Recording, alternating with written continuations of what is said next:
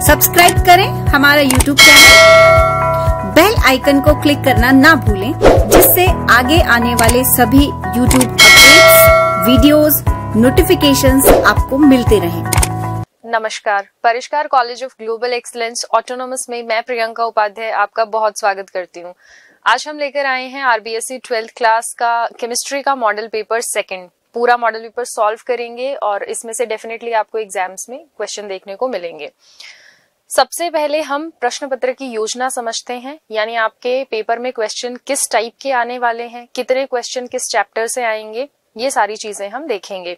तो देखिए, यहाँ पे आपके पास उद्देश्य हेतु अंक भार दिया गया है। चार प्रकार के उद्देश्य है, यहाँ पे ज्ञान, अवबोध, ज्ञानोपयोग, कौशल, और ये चारों का यहाँ पे परसेंटेज दे रखा है कि कौन से उद्देश्य से कितने नंबर के क्वेश्चंस जो हैं वो आने वाले हैं। जैसे ज्ञानात्मक से सत्रह पॉइंट पाँच ज़ीरो और प्रतिशत है इसका इकतीस पॉइंट दो पाँच प्रतिशत। टोटल जो है आपके फिफ्टी सिक्स मार्क्स का पेपर आता है। ठीक है? तो ये चारों उद्देश्यों की पूर्ति करते हुए ये फिफ्टी सिक्स मार्क्स का क्वेश्चन पेपर बनाया जाता है। नेक्स्ट हमारे पास है प्रश्नों के प्रकारवार अंक भार।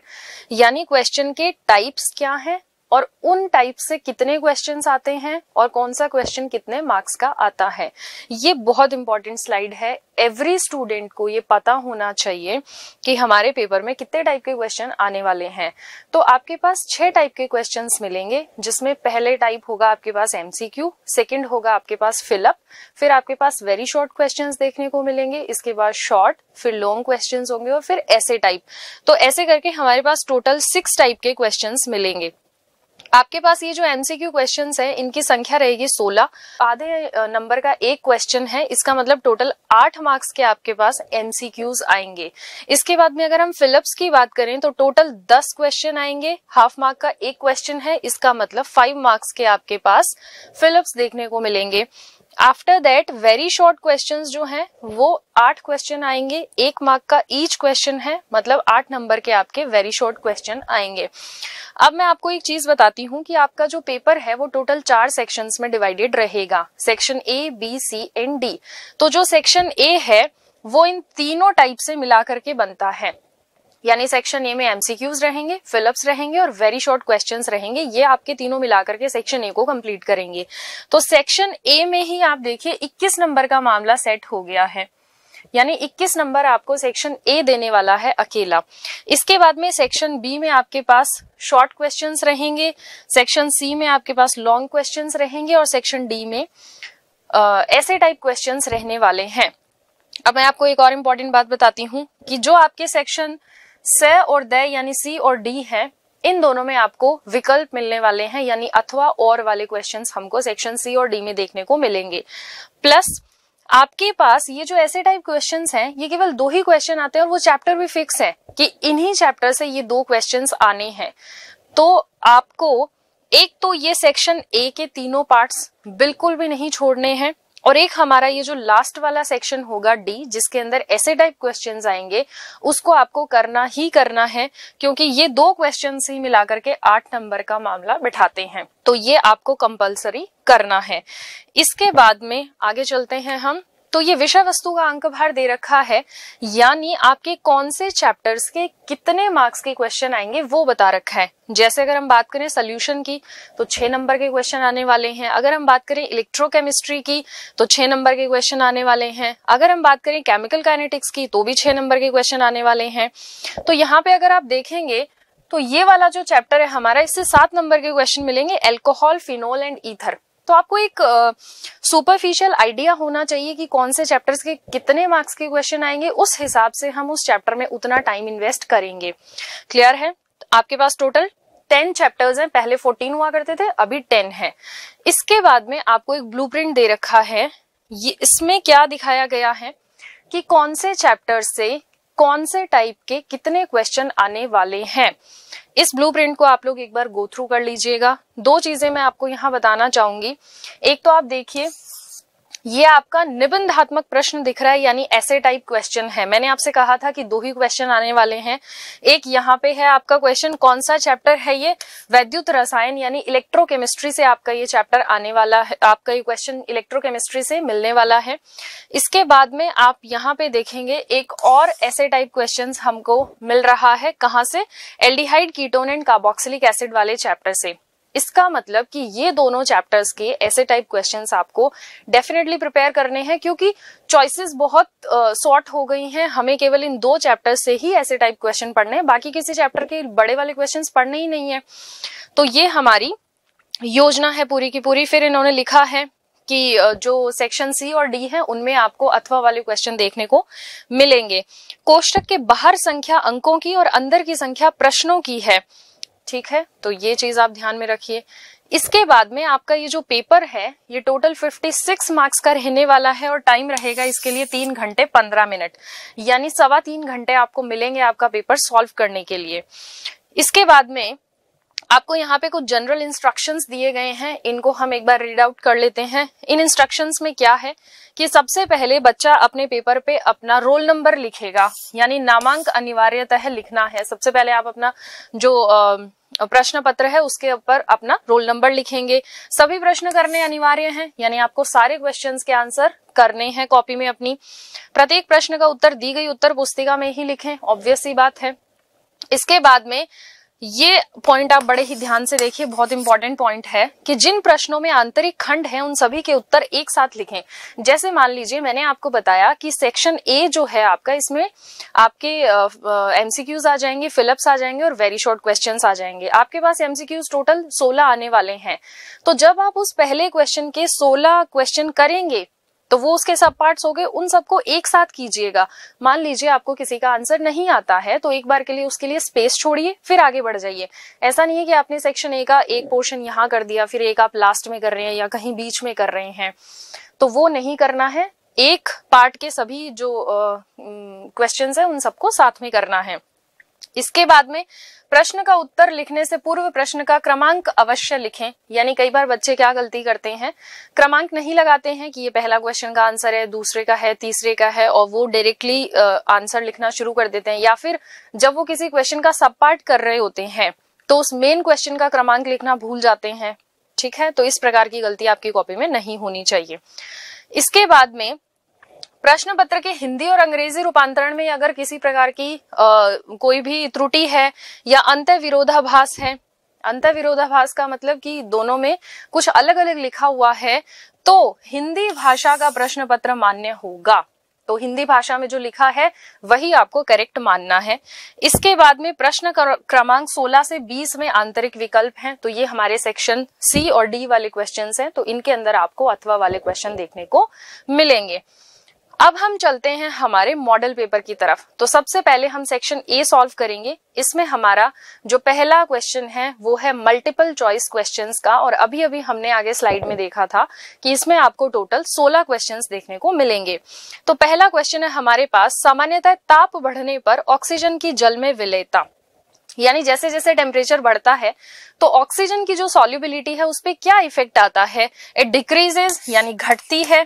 इंक्रीजेस यानी बढ़ती है। इंक्रीजेज एंड डिक्रीजेज मतलब पहले बढ़ती है, फिर घटती है, या फिर डिक्रीजेज एंड इंक्रीजेज यानी पहले घटती है और फिर बढ़ती है। अब देखो जैसे जैसे आप पानी का टेम्परेचर बढ़ाएँगे तो मॉलिक्यूल्स की काइनेटिक एनर्जी बढ़ेगी। और जब मॉलिक्यूल्स की काइनेटिक एनर्जी बढ़ेगी तो उनके बीच के जो वीक वंडरवाल फोर्सेस हैं, वो कम हो जाते हैं। इसलिए ऑक्सीजन वाटर से अलग होना शुरू हो जाता है। तो जैसे जैसे आप टेम्परेचर बढ़ाएँगे वैसे वैसे ऑक्सीजन की विलेयता जो है, वो जल में कम होती जाएगी। क्योंकि आपको पता है कि ऑक्सीजन जो है, वो एक नॉन पोलर मॉलिक्यूल है। दोनों ऑक्सीजन एटम्स हैं इसके अंदर, दोनों की विद्युत ऋणता बिल्कुल समान है। इसका मतलब इसकी पोलैरिटी ज़ीरो है नॉन पोलर मॉलिक्यूल है, जबकि वाटर एक पोलर मॉलिक्यूल है। तो वाटर वाटर के मॉलिक्यूल्स के बीच में अट्रैक्शन जो है वो स्ट्रॉन्ग है कंपैरेटिवली ऑक्सीजन और वाटर के। तो वाटर और ऑक्सीजन के बीच में वीक फोर्सेस पाए जाते हैं तो वो आप जैसे ही एनर्जी देंगे, वैसे ही वो खत्म हो जाएँगे। तो ऑक्सीजन जो है वो अलग होना शुरू हो जाएगा और वो इवेपोरेट हो जाएगा। इसलिए हमारे पास करेक्ट ऑप्शन क्या है कि ऑक्सीजन की विलेयता घटती है। इसके बाद में सेकंड क्वेश्चन है हमारा एक सेकंड के लिए एक एम्पियर धारा के प्रवाह द्वारा संग्रहित पदार्थ की मात्रा किसके बराबर होती है? ऑप्शंस देखिए। तुल्यांकी द्रव्यमान, आणविक द्रव्यमान, वैद्युत रासायनिक तुल्यांक और विशिष्ट तुल्यांक। पहले तो मैं आपको इसका करेक्ट आंसर बताती हूँ। करेक्ट आंसर क्या है हमारा? वैद्युत रासायनिक तुल्यांक। अब वैद्युत रासायनिक तुल्यांक होता क्या है? वैद्युत रासायनिक तुल्यांक का मतलब होता है कि किसी भी इलेक्ट्रोड पर किसी पदार्थ की जो संग्रहित मात्रा होती है कब, जब उसमें हम करंट पास करते हैं एक एम्पियर का एक सेकंड के लिए, तब उस इलेक्ट्रोड पर जो भी पदार्थ की मात्रा संग्रहित होती है, उसी को हम Z या हमारा केमिकल इक्विवेलेंट कहते हैं। और इसने यही पूछा है कि एक सेकंड के लिए यदि हम एक एम्पियर धारा का प्रवाह करें, तब जो संग्रहित पदार्थ की मात्रा होगी वो किसके बराबर होगी? तो वो Z के बराबर होगी। इसका मतलब इसका फॉर्मूला क्या बनेगा? Z is equal to W by I into T इसका मतलब Z किसके बराबर है? संग्रहित पदार्थ की मात्रा W कब? जब आपने एक एम्पियर धारा प्रवाहित करी एक सेकंड के लिए तो ये किसके बराबर हो गया? Z के बराबर। तो यही आपका केमिकल इलेक्ट्रोकेमिकल इक्विवेलेंट कहलाता है। अब आप दूसरे ऑप्शंस देखिए, तुल्यांकी द्रव्यमान, आणविक द्रव्यमान। आणविक द्रव्यमान, हमें पता है किसी भी अणु का जो द्रव्यमान होता है वो आणविक द्रव्यमान कहलाता है। तुल्यांकी द्रव्यमान, आणविक द्रव्यमान में आप वैलेंसी फैक्टर से डिवाइड कर दीजिए, आपके पास तुल्यांकी द्रव्यमान आ जाएगा। यानी ये ऑप्शन नहीं हो सकता, ये नहीं हो सकता। विशिष्ट तुल्यांक कुछ नहीं होता, विशिष्ट चालकता होती है, लेकिन तुल्यांक नहीं है। तो करेक्ट आंसर जो है हमारे पास वो हो जाएगा। इसके बाद में हमारे पास जो थर्ड क्वेश्चन है, वो है एक प्रथम कोटि अभिक्रिया की अर्ध आयु 69.3 सेकंड है तो इसका वेग स्थिरांक क्या होगा? जब भी आपसे इस तरीके का कोई क्वेश्चन दिया जाए तो आपको इनका फॉर्मूला पता होना चाहिए। अब आप देखिए कि रिएक्शन किसके लिए पूछ रहा है? प्रथम कोटि की अभिक्रिया है। यानी फ़र्स्ट ऑर्डर रिएक्शन है। हमें गिवन क्या है? टी हाफ़ हमें दे रखा है। क्योंकि इन्होंने कहा है कि अर्ध आयुकाल इतना है और वेग स्थिरांक यानी हमसे के की वैल्यू ये पूछ रहा है। अब हमारे पास फ़र्स्ट ऑर्डर रिएक्शन के लिए अर्ध आयुकाल का फॉर्मूला क्या होता है? T half is equals to zero point six nine three upon K बस वैल्यूज़ पुट कर दीजिए, आपका आंसर आ जाएगा। अगर मैं यहाँ से के को इधर लाती हूँ तो क्या बनेगा? 0.693 अपॉन टी हाफ़ और टी हाफ़ की वैल्यू क्या दे रखी है? 0.693 अपॉन टी हाफ़ की वैल्यू है 69.3 अगर मैं यहाँ से इसको सॉल्व करूँगी तो ये इससे कैंसिल हो गया 10 से 10 गया, और यहाँ पे बचेगा 10 टू पावर माइनस टू इसका मतलब के की वैल्यू क्या आई? Ten raise to power minus two तो करेक्ट आंसर हमारा हो जाएगा ए नेक्स्ट क्वेश्चन इज़ शून्य कोटि अभिक्रिया के लिए निम्न में से कौन सा संबंध सही है? पहला जो हमने क्वेश्चन किया इससे जस्ट पहले वाला, उसमें फ़र्स्ट ऑर्डर रिएक्शन के लिए पूछा था। अभी ये पूछ रहा है ज़ीरो ऑर्डर रिएक्शन के लिए। तो अगर मैं शून्य कोटि अभिक्रिया की बात करूँ तो आपको इसका इंटीग्रेटेड रेट लो पता होना चाहिए। तो इंटीग्रेटेड रेट लो क्या होता है? A is equals to A naught minus K T अब यहाँ पे ए नोट क्या है? इनिशियल कंसंट्रेशन और ए क्या है? किसी समय टी पे विघटित होने के बाद बची हुई जो पदार्थ की मात्रा है, वो है हमारा ए अभी इसने क्या कहा है कि कौन सा संबंध सही है? अब ये जो संबंध आपको दे रखे हैं, आप उसके अंदर एक चीज़ नोटिस कीजिए। आपको टी थ्री बाई फोर दे रखा है और एक आपको दे रखा है टी हाफ़ तो यहाँ पे हमें दो वैल्यूज़ दे रखी हैं टी थ्री बाई फोर दे रखा है और टी वन बाई टू दे रखा है। इसका मतलब कि हम इन दोनों के लिए ही इंटीग्रेटेड रेट लो लगाएँगे। तो सबसे पहले अगर मैं टी हाफ़ की बात करती हूँ तो टी हाफ़ की वैल्यू निकाल लेते हैं, वहीं से हम रेशो निकाल पाएँगे। तो अगर मैं टी हाफ़ की बात करूँ तो वो एक ऐसा समय है, जिस समय पे पदार्थ जो है वो आधा विघटित हो जाता है, या मैं कहूँ आधा बच जाता है।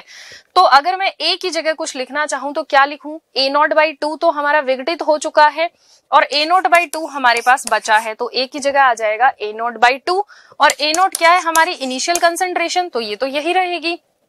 के भी यही रहेगा, और टी की जगह मैं लिखूँगी टी हाफ़ अब अगर मैं यहाँ से इस के टी हाफ़ को इधर ले आऊँ तो ये माइनस से प्लस का हो जाएगा और ये ए नॉट बाई टू चला जाएगा उधर। तो के टी हाफ़ ये बचेगा A naught by two T half की अगर मैं यहाँ से वैल्यू देखना चाहूँ तो टी हाफ़ बचेगा ए नॉट बाई टू के इसका मतलब ज़ीरो ऑर्डर रिएक्शन के लिए टी हाफ़ जो है, उसकी वैल्यू आती है ए नॉट बाई टू के अब हम टी थ्री बाई फोर निकालते हैं। अब अगर मैं आपसे टी थ्री बाई फोर की बात करूँ तो इसका मतलब ये है कि ऐसा समय जिसपे पदार्थ कितना विघटित हो चुका है थ्री बाई फोर इसका मतलब बचा कितना है वन बाई फोर तो इसके लिए भी हम इंटीग्रेटेड रेट लो लगाएँगे। तो A is equal to A naught minus K T. अब ए कितना बचा है हमारा? A naught by four. तो हम यहाँ लिखेंगे ए नोट बाई फोर। ये इनिशियल कंसेंट्रेशन है। Three A naught by four तो विकटित हो चुका है। बचा कितना है? A naught by four. Initial concentration A naught minus K T और इस बार टी को हम लिखेंगे टी। थ्री बाई फोर अब अगर मैं यहाँ से वैसे ही इस के टी को इधर ले आऊँ तो ये क्या बनेगा? A naught minus A naught by four और टी थ्री बाई फोर बनेगा। Three A naught by four K. Clear है? तो हमने यहाँ से टी थ्री बाई फोर निकाल लिया और टी वन बाई टू यानी टी हाफ़ निकाल लिया और टी थ्री बाई फोर निकाल लिया। तो हमने वैल्यूज़ फाइंड आउट कर ली है टी हाफ़ की और टी थ्री बाई फोर की। अब हम इनका रेशो निकालते हैं। तो अगर मैं यहाँ से लिखना चाहूँ T three by four upon T half T three by four कितना आया है? थ्री ए नॉट तो टी थ्री बाई फोर का वैल्यू क्या है? Three A naught upon four K and T half का वैल्यू क्या है? ए नोट अपॉन टू के तो टू के ऊपर चला जाएगा। अब आप देखिए ए नोट से ए नोट कैंसिल हो गया के से के कैंसिल हो गया। टू यहाँ से डिवाइड हुआ टू टाइम्स अब आप देखो T three by four upon T half का रेशो क्या आया? थ्री बाई टू तो अगर मैं यहाँ से लिखना चाहूँ T three by four is equals to three by two T half इसका मतलब कि थ्री बाई टू को वन पॉइंट फाइव भी लिखा जा सकता है। तो T three by four is equals to one point five T half is the correct answer तो आपको ये जितने भी रिएक्शन हैं, जैसे ज़ीरो ऑर्डर हो गया फ़र्स्ट ऑर्डर ज़्यादातर क्वेश्चन आपसे ज़ीरो और फ़र्स्ट ऑर्डर से ही पूछे जाएँगे। सेकंड ऑर्डर के बारे में भी आपको पता होना चाहिए। तो इनके इंटीग्रेटेड रेट लो और इनका जो हाफ़ लाइफ का फॉर्मूला है, वो आपको डेफिनेटली आना चाहिए। अब हम चलेंगे नेक्स्ट क्वेश्चन की तरफ़। नेक्स्ट क्वेश्चन है, निम्न में से प्रति चुंबकीय कौन है? अब आपको पता है कि जब भी हमें प्रति चुंबकीय या डायामैग्नेटिक देखना होता है तो हम क्या करते हैं कि इलेक्ट्रॉनिक कॉन्फ़िगरेशन लिखते हैं, और अगर सारे इलेक्ट्रॉन्स पेयर्ड हैं, इसका मतलब वो जो भी हमारा आयन है, वो कैसा होगा प्रति चुंबकीय होगा, और अगर उसमें अनपेयर्ड इलेक्ट्रॉन्स प्रेजेंट होते हैं तो वो कैसा होता है अनुचुंबकीय होता है। अब आपको पता है कॉपर टू प्लस अगर मैं कॉपर का, सबसे पहले कॉपर का इलेक्ट्रॉनिक विन्यास लिखते हैं तो three D ten four S one ये कॉपर का इलेक्ट्रॉनिक कॉन्फ़िगरेशन है। अगर मैं टू प्लस का इलेक्ट्रॉनिक कॉन्फ़िगरेशन लिखना चाहूँ तो टू प्लस का इलेक्ट्रॉनिक कॉन्फ़िगरेशन क्या बनेगा? थ्री डी नाइन अब आप बताइए कि थ्री डी नाइन में अगर मैं इलेक्ट्रॉन्स फिल करूँगी नो इलेक्ट्रॉन है, आप कैसे भी फिल कर लीजिए, एक अयुग्मित इलेक्ट्रॉन आपके पास रहेगा। इसका मतलब ये तो कैसा है? अनुचुंबकीय है। तो ये आंसर नहीं हो सकता। अगर मैं जिंक टू प्लस की बात करूँ तो जिंक टू प्लस में होते हैं इलेक्ट्रॉन 10 डी में, यानी थ्री डी टेन इसका इलेक्ट्रॉनिक कॉन्फ़िगरेशन बनता है। थ्री डी टेन का मतलब है कि यहाँ पे आपके पास टोटल 10 इलेक्ट्रॉन्स हैं और सारे के सारे इलेक्ट्रॉन पेयर्ड हैं। कहीं भी आपको कोई भी अनपेयर्ड इलेक्ट्रॉन नहीं दिख रहा। इसका मतलब zinc two plus is the correct answer. आप बाकियों को भी ऐसे ही चेक कर सकते हैं। C R two plus titanium two plus. इनको भी आप चेक कर सकते हैं, ये भी कैसे हैं? अनुचुंबकीय हैं। अगले क्वेश्चन में हम देखते हैं एक हमको कॉम्प्लेक्स दे रखा है कोऑर्डिनेशन कॉम्प्लेक्स दिया हुआ है K three F C N whole six और इसमें हमें आयरन का ऑक्सीडेशन स्टेट पूछा है। अब आपको जब इस तरीके का कोई भी कोऑर्डिनेशन कॉम्प्लेक्स दिया जाए और इसमें प्रेजेंट मेटल का ऑक्सीडेशन स्टेट अगर आपसे पूछा जाता है तो आप सबसे पहले ये जो कोऑर्डिनेशन एंटिटी है, इसके ऊपर पूरा चार्ज कैलकुलेट कीजिए। तो अगर मैं इसको डिसोसिएट करना चाहूँ तो यहाँ से कैसे होगा? थ्री के प्लस ये तीनों जो पोटेशियम आगे लगे हुए हैं, वो अलग हो जाएँगे और ये पूरी कोऑर्डिनेशन एंटिटी अलग हो जाएगी F E C N whole six अब आप देखिए कि यहाँ पे पॉजिटिव चार्ज कितना था? प्लस थ्री क्योंकि एक पोटेशियम पे प्लस वन है तो तीन पे प्लस थ्री हो जाएगा तो इस पूरे कॉम्प्लेक्स पे चार्ज कैसा आएगा? माइनस थ्री अब आप यहाँ से आयरन का ऑक्सीडेशन स्टेट निकाल सकते हैं। आयरन का ऑक्सीडेशन स्टेट हमें निकालना है तो हम एक्स मानेंगे प्लस साइनाइड पे चार्ज कितना होता है? एक पे चार्ज होता है माइनस वन तो छह पे कितना हो जाएगा? माइनस छ इज़ इक्वल टू इस पूरे कॉम्प्लेक्स में जो भी चार्ज है, उसको आप बराबर के उस तरफ़ लिखेंगे। तो यहाँ आ जाएगा minus three X is equal to ये माइनस सिक्स उधर जाके प्लस का हो जाएगा। सिक्स माइनस थ्री यानी एक्स इज़ इक्वल टू आ जाएगा plus three this is the correct answer ठीक है? अगला क्वेश्चन है थ्री होल ट्वाइस टू के जामितीय समावयवियों की संख्या क्या है? यानी ज्योमेट्रिकल आइसोमर्स पूछे हैं आपसे इस कॉम्प्लेक्स के अंदर। अब आप देखिए कि यहाँ पे दो टाइप के लिगेंड लगे हुए हैं। है ना? तो ये सिस्टम कुछ ऐसा बन रहा है M A two B two types और हमें पता है कि जब system M A two B two होता है तो वो डेफिनेटली ज्योमेट्रिकल आइसोमेरिज्म शो करता है। और इसके दो आइसोमर्स बनते हैं। कौन कौन से हैं? एक तो सिस बनता है और एक ट्रांस बनता है। तो इसका मतलब इसके ज्योमेट्रिकल आइसोमर्स कितने होंगे? दो होंगे। तो this is your correct answer next question आपसे पूछा गया है कि न्यूक्लिक अम्ल में कौन सा क्रम है? तो न्यूक्लिक अम्ल के अंदर किसका क्रम पूछा है? जो शुगर, बेस और फॉस्फेट वगैरह जुड़े हुए होते हैं, उनका सीक्वेंस क्या है? तो आपका ये जो सीक्वेंस रहता है, वो होता है phosphate, sugar and base. This is your correct answer इसके बाद में जो अगला क्वेश्चन हमसे पूछा गया है, वो है ज्विटर आयन इंपॉर्टेंट क्वेश्चन है अच्छा क्वेश्चन है ज्विटर आयन क्या है?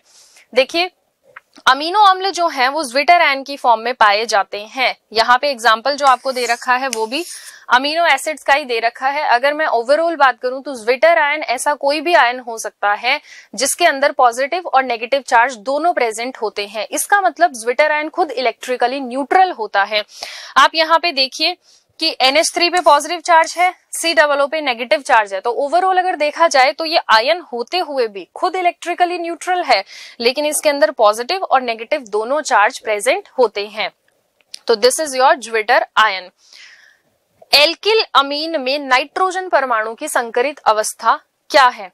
तो एल्काइल अमीन्स क्या होते हैं? पहली बात ये आपको पता होना चाहिए।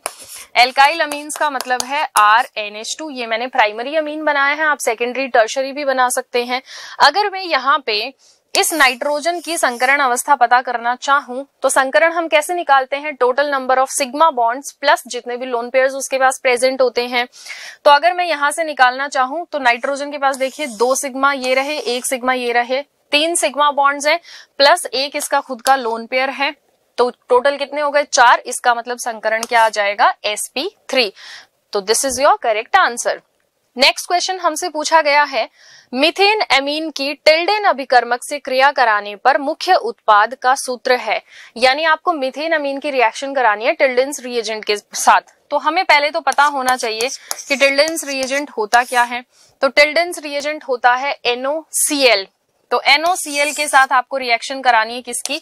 मीथेन अमीन की methane amine is what C H three NH2 तो जब हम टिल्डेंस रिएजेंट की रिएक्शन कराते हैं मीथेन अमीन के साथ तो हमें एल्काइल हेलाइड मिलता है, यानी CH3Cl हमें मिलता है मेन प्रोडक्ट के रूप में। तो ये आपका टिल्डेंस रिएजेंट है, इसको याद रखना। नाइट्रोसिल क्लोराइड बोला जाता है NOCl इसकी रिएक्शन आप मीथेन अमीन से कराएँगे तो एल्काइल हेलाइड आपको मिलने वाला है। नेक्स्ट क्वेश्चन में पूछा है सेलिसिलिक अम्ल को सोडा लाइम के साथ गर्म करने पर बनने वाला उत्पाद कौन सा है? तो सबसे पहले हमें सैलिसिलिक अम्ल का फॉर्मूला पता होना चाहिए। तो सैलिसिलिक अम्ल क्या होता है? बेंजीन के ऊपर एक सी डबल ओ एच समूह और इसके ऑर्थो पोजीशन पे ओ एच समूह। इसको बोला जाता है सेलिसिलिक अम्ल। कहा क्या है? सेलिसिलिक अम्ल को सोडा लाइम के साथ गर्म करना है। तो what is soda lime soda lime is mixture of NAOH and CAO यानी NaOH और कैल्शियम ऑक्साइड का जो मिश्रण होता है, इसको हम कहते हैं सोडा लाइम। एक्चुअल में ये जो मिक्सचर है, इसको ग्रैन्युलर फॉर्म में यूज़ किया जाता है और ये CO2 को एब्जॉर्ब करने का काम करता है। इसलिए इसको बहुत सारे एनेस्थीशिया में रीब्रीदिंग सिस्टम्स के अंदर यूज़ किया जाता है। और यहाँ से आपको पता है कि जब सोडा लाइम के साथ हम ट्रीट करते हैं तो CO2 को ये उड़ा देता है। इसका मतलब कि हमें क्या मिलने वाला है? फिनॉल मिलने वाला है। तो आपका करेक्ट आंसर हो जाएगा फिनॉल नेक्स्ट क्वेश्चन है व्हाट इज़ नेटेलाइट नेटेलाइट क्या है? देखो बच्चों नेटेलाइट जो है वो एक्चुअल में एल्कोहल और डाई ईथर का मिक्सचर होता है which is use as a substituent of petrol that means हम इसको फ्यूल की तरह यूज़ कर सकते हैं। तो नेटेलाइट जो है वो एल्कोहल और डाईथर का मिक्सचर uh, होता है। तो फिंकलस्टीन जो रिएक्शन है वो एक्चुअल में एक हेलोजन एक्सचेंज रिएक्शन है। हेलोजन एक्सचेंज रिएक्शन किसके साथ होती है? यहाँ पे आप लेते हैं एल्काइल क्लोराइड या फिर एल्काइल ब्रोमाइड यानी आप आरसीएल ले सकते हैं या फिर आरबीआर ले सकते हैं। इनकी रिएक्शन कराई जाती है सोडियम आयोडाइड के साथ ड्राई एसिटोन की प्रेजेंस में। तो एसिडोन की प्रेजेंस में हम कराते हैं रिएक्शन और यहाँ से हमें मिलते हैं एल्काइल आयोडाइड तो आप देख रहे हैं कि हेलोजन एक्सचेंज हो चुका है। यानी आपके पास जहाँ पे एल्काइल के साथ एल्काइल ग्रुप के साथ पहले क्लोराइड या ब्रोमाइड था, वहाँ अब आयोडाइड आ चुका है। इसका मतलब कि हेलोजन एक्सचेंज हो चुका है। प्लस आपको यहाँ पे बाई प्रोडक्ट क्या मिलता है?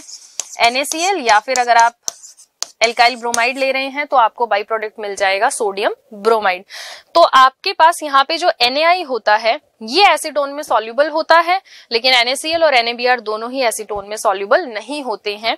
इस रिएक्शन को ली चैटलियर प्रिंसिपल जो है, वो फॉरवर्ड डायरेक्शन में फैलिसिटेट करता है. अब हम चलते हैं हमारे नेक्स्ट क्वेश्चन की तरफ़. नेक्स्ट क्वेश्चन है C H three C L की NaNO2 plus H C L के साथ अभिक्रिया करवाने से क्या मिलेगा? तो हमें एल्काइल हेलाइट दे रखा है, यानी एल्काइल क्लोराइड दे रखा है। रिएक्शन किसके साथ करानी है? NaNO2 plus H C L के साथ हमें रिएक्शन करानी है।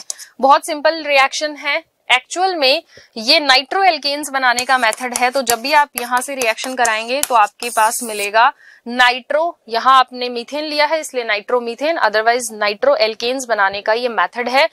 तो nitro methane will be your correct answer next question is कि क्लोरोफॉर्म के प्रकाश की उपस्थिति में ऑक्सीकरण से क्या बनता है? देखिए, जब भी आप क्लोरोफॉर्म को प्रकाश की उपस्थिति में ऑक्सीकरण करवाते हैं तो वहाँ से एक बहुत ही पॉइजनस गैस मिलती है हमारे को, जिसका नाम है फॉसजीन क्लोरोफॉर्म का फॉर्मूला क्या होता है? C H C L three यानी एक कार्बन के साथ एक हाइड्रोजन और तीन क्लोरीन परमाणु जुड़े हुए होते हैं। तो दिस इज़ योर क्लोरोफॉर्म जब आप इसका ऑक्सीजन के साथ ऑक्सीकरण करवाते हैं तो यहाँ से ऑक्सीजन जो है, वो इसके साथ जुड़ जाता है। और एचसीएल का मॉलिक्यूल बाहर निकल जाता है और जो गैस हमारे पास बनती है which is known as phosgene to इसका फॉर्मूला होता है और ये फोस्जीन गैस हमारे पास बनती है। अब आप देखिए यहाँ पे कि ये जो ऑक्सीकरण हो रहा है एक्चुअल में ये एक फ्री रेडिकल मैकेनिज्म से रिएक्शन प्रोसीड करती है। फ्री रेडिकल मैकेनिज्म का मतलब है कि ये सनलाइट की प्रेजेंस में होगी और सनलाइट की प्रेजेंस में होगी, इसीलिए हमेशा ये जो क्लोरोफॉर्म है, अगर आप अपनी लैब्स में काम करते हैं तो आपने ध्यान दिया होगा कि क्लोरोफॉर्म की जो बॉटल्स हैं, वो हमेशा डार्क कलर की होती हैं, ताकि सनलाइट उनके डायरेक्ट कांटेक्ट में ना आए ऑक्सीजन उनके डायरेक्ट कांटेक्ट में ना आए, और हमेशा उन्हें अंधेरे में रखा जाता है, और डार्क कलर की बॉटल्स में स्टोर करके हम इनको रखते हैं। तो दिस इज़ अबाउट फॉस्जीन बाकी के जो ऑप्शन है, वो भी अच्छे ऑप्शन है तो हम इन पे बात करते हैं। एक है आपके पास मस्टर्ड गैस मस्टर्ड गैस का जो फॉर्मूला होता है, वो है C two H four C2H4Cl whole twice S यानी सल्फ़र की एक गैस है मस्टर्ड गैस है, इसकी जो स्मेल होती है वो मस्टर्ड ऑयल के जैसी होती है बेसिकली और ये वर्ल्ड वॉर फ़र्स्ट में जापानीज जो सैनिक थे, उन्होंने ब्रिटिश के खिलाफ इसको यूज़ किया था वर्ल्ड वॉर फ़र्स्ट में। और ये गैस जो है बेसिकली ये आपकी आँखों को नुकसान पहुंचाती है और आँखें चली जाती हैं इससे। तो ये है मस्टर्ड गैस नेक्स्ट ऑप्शन पे बात करते हैं टीयर गैस तो टीयर गैस जो है, इसका फॉर्मूला होता है सीसीएल थ्री एनओ टू ठीक है? CCL three NO two tear gas आप सब जानते हैं अशरु के जो गोले दागे जाते हैं जनरली पुलिस फोर्स ऐसा काम करती है. तो सीसीएल थ्री एनओ टू अगर मैं इसका नाम लिखना चाहूँ तो क्या लिखेंगे? देखो, अगर ये C H C L three होता तो आप इसको क्या बोलते? क्लोरोफॉर्म ठीक है? लेकिन अभी ये क्या है? सीसीएल थ्री एनओ टू तो हम इसको बोल सकते हैं नाइट्रोक्लोरोफॉर्म। तो एक नाम इसका ये भी है, नाइट्रोक्लोरोफॉर्म। या फिर आप इसका आईयूपीएसी नाम लिखना चाहें तो कितने क्लोरीन अटैच हैं? तीन। तो हम इसको बोल सकते हैं ट्राई क्लोरो नाइट्रो मीथेन तो ये भी इसका नाम आईयूपीएसी नाम है। इसके बाद में हम चलते हैं नेक्स्ट, वाटर गैस पे। अब आप देखिए वाटर गैस क्या होती है? कार्बन मोनोऑक्साइड प्लस H2 का जो मिक्सचर होती है, इसे हम कहते हैं वाटर गैस तो ये भी आप ध्यान रखेंगे। फॉस्जिन का फॉर्मूला आपको मैंने बताई दिया COCl2 होता है। टीयर गैस जो है आपके पास CCl3 NO2 है। इनके फॉर्मूलाज आप लोग नोट कर लेना। C2H4Cl whole twice S. ये आपके पास मस्टर्ड गैस का फॉर्मूला है। एक आपके पास लाफिंग गैस भी होती है which is called nitrous oxide formula is N2O this is known as laughing gas यानी ये गैस छोड़ते ही आप हंसने लग जाते हैं। तो ये आपका लाफिंग गैस का फॉर्मूला होता है। तो यहाँ आपका करेक्ट आंसर क्या हो जाएगा? Phosgene so moving toward next question section A का क्वेश्चन नंबर एक आप कंप्लीट कर चुके हैं, जिसमें 16 एमसीक्यूज हमने देखे थे। अब हम सेकंड क्वेश्चन करेंगे फिल इन द ब्लैंक्स वाले, यानी जो फिलअप वाले क्वेश्चन हैं, वो आपके पास टोटल रहने वाले हैं टेन तो उन्हीं पे हम बात करेंगे अभी। पहला क्वेश्चन है आपके पास, एक किलोग्राम विलायक में घुले हुए विले के मोलों की संख्या क्या कहलाती है? तो आप सब अच्छे से जानते हैं इसको कि एक किलोग्राम विलायक अगर हमें दे रखा है तो विलायक में घुले हुए मोलों की संख्या क्या कहलाती है? मोललता कहलाती है। यही अगर आपसे ये पूछा होता कि एक लीटर विलियन में घुले हुए विले के मोलों की संख्या, तब आप यहाँ पे क्या बताते? मोलरता आंसर बताते। क्लियर है? इसके बाद में सेकंड क्वेश्चन जो आपसे पूछा है, डेनियल सेल का विद्युत वाहक बल क्या होता है, यानी कितना होता है। सबसे पहले तो हम डेनियल सेल के बारे में बात करते हैं। तो डेनियल सेल जो है, वो एक्चुअल में गैल्वेनिक सेल का ही एक एग्ज़ाम्पल है और गैल्वेनिक सेल क्या होता है, जो केमिकल एनर्जी को इलेक्ट्रिकल एनर्जी में कन्वर्ट करता है। अब आपका ये जो डेनियल सेल है, इसके अंदर जिंक का एनोड होता है और कॉपर का कैथोड होता है और इसका जो ईएमएफ है, यानी विद्युत वाहक बल है, वो 1.1 वोल्ट होता है। अगला सवाल हमारे पास है किसी अभिक्रिया के वेग व्यंजक में प्रयुक्त सांद्रताओं के घातांकों का योग क्या कहलाता है? तो आपको पता है कि अगर हम घातांकों के योग की बात करें, वेग व्यंजक में प्रयुक्त सांद्रताओं के घातांकों के योग की बात करें तो वो कहलाता है हमारा अभिक्रिया की कोटि, यानी ऑर्डर ऑफ़ रिएक्शन अगला प्रश्न है हमारे पास अनुचुंबकत्व का कारण किन इलेक्ट्रॉनों की उपस्थिति है? अब आप सभी को पता है अभी अभी हमने बात करी थी कि अनुचुंबकत्व का कारण होता है अयुग्मित इलेक्ट्रॉन।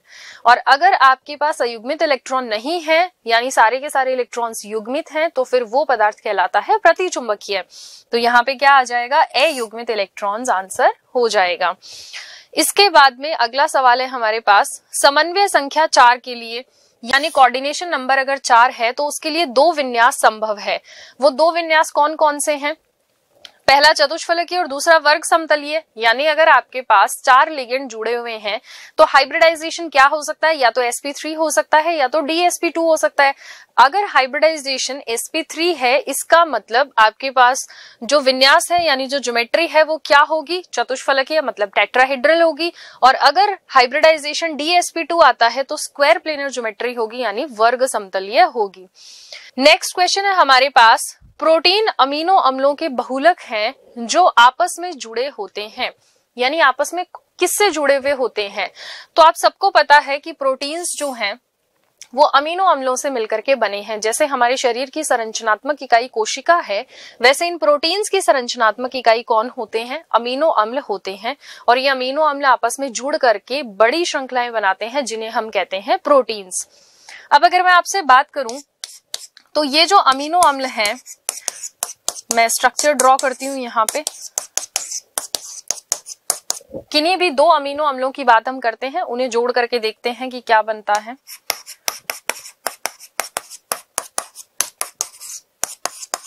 तो ये मैंने किसी भी एक अमीनो एसिड का एग्ज़ाम्पल लिया है। तो दो अमीनो एसिड के मॉलिक्यूल है यहाँ पे। ये आपस में जुड़ते हैं और एक वाटर मॉलिक्यूल यहाँ से बाहर निकल जाता है। जैसे ही ये वाटर मॉलिक्यूल यहाँ से बाहर निकलेगा तो हमारे पास ये जो नया मॉलिक्यूल बनेगा, इसे हम कहेंगे डाई पेप्टाइड क्या कहेंगे हम? डाई पेप्टाइड और अब आप नया बॉन्ड देखिए, किसके बीच में बन चुका है? सी डबल बॉन्ड ओ वाले कार्बन और NH2 वाले नाइट्रोजन के बीच में एक नया बॉन्ड बना है। ये जो बॉन्ड है CONH जो नया बॉन्ड बना है, इसी को हम कहते हैं पेप्टाइड बॉन्ड। इसका मतलब ये जो प्रोटीन्स हैं, जो अमीनो अम्लों के बहुलक होते हैं, वो आपस में किससे जुड़े हुए होते हैं? पेप्टाइड बंध से जुड़े हुए होते हैं। और पेप्टाइड बंध किसे कहते हैं? इस बंध को हम पेप्टाइड बंध कहते हैं। आगे चलेंगे। कार्बन परमाणुओं की संख्या बढ़ने से एल्कोहल के क्वेथनांक क्या हो जाते हैं, बढ़ जाते हैं या कम हो जाते हैं? तो देखिए जैसे जैसे नंबर ऑफ़ कार्बन बढ़ता जाता है वैसे वैसे एल्कोहल्स के जो क्वेथनांक हैं, वो भी बढ़ते जाते हैं। क्यों? क्योंकि नंबर ऑफ़ कार्बन बढ़ने की वजह से जो वंडरवाल फोर्सेस हैं, वो बढ़ जाते हैं। उसका रीजन क्या है? क्योंकि सरफेस एरिया बढ़ जाता है तो सरफेस एरिया बढ़ने की वजह से वंडरवाल फोर्सेस बढ़ेंगे। और जब फोर्सेस बढ़ेंगे तो उनको तोड़ने के लिए एनर्जी भी ज़्यादा चाहिए होगी। इसका मतलब बॉइलिंग पॉइंट जो है, इनके इंक्रीज हो जाते हैं।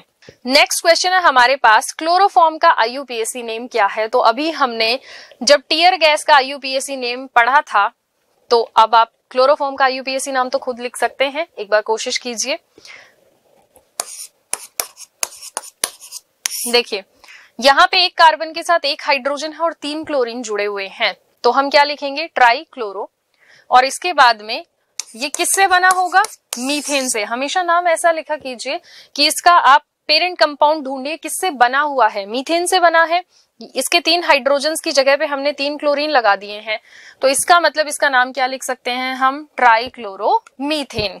अगला क्वेश्चन है हमारे पास, वे अणु जो अपने दर्पण प्रतिबिंब पर अध्यारोपित नहीं हो सकते हैं, अणु कहलाते हैं, यानी कौन से अणु कहलाते हैं, उसकी हम बात करते हैं अभी। तो ऐसे अणु जो अपने दर्पण प्रतिबिंब पर अध्यारोपित नहीं हो सकते हैं तो आप सबको पता है कि इनको हम कहते हैं कायरल अणु। और आपने ऑप्टिकल एक्टिविटी पढ़ी होगी, प्रकाशिक सक्रियता पढ़ी होगी, वहाँ आपने एक मस्ट कंडीशन पढ़ी होगी कि मॉलिक्यूल का कायरल होना बहुत ज़रूरी है। और जो भी ऑप्टिकली एक्टिव कंपाउंड्स होते हैं, वो अपनी मिरर इमेज पे कभी भी सुपर इम्पोज नहीं होते हैं। तो ये correct answer will be chiral B R plus two N A in the presence of ether gives what तो हमें ये रिएक्शन का आंसर लिखना है। अब आपको पता है कि ये जो रिएक्शन है, इसका यूज़ किया जाता है हायर एल्केन्स बनाने के लिए।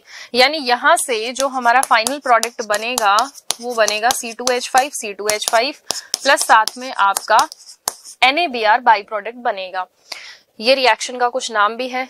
इसको हम कहते हैं वुड्स रिएक्शन क्या कहते हैं? वुड्स रिएक्शन तो बच्चों, जो ये नेम रिएक्शंस आती हैं ना, ये तो आपको डेफिनेटली पता होनी चाहिए, क्योंकि ये छोटे क्वेश्चंस में भी पूछी जा सकती हैं। तो ये छोटी छोटी जो रिएक्शंस हैं, इनको आप ध्यान में रखिए। तो यहाँ हमारा जो सेकंड क्वेश्चन है सेक्शन ए का, वो कंप्लीट हो जाता है। अब हम चलेंगे थर्ड क्वेश्चन की तरफ़।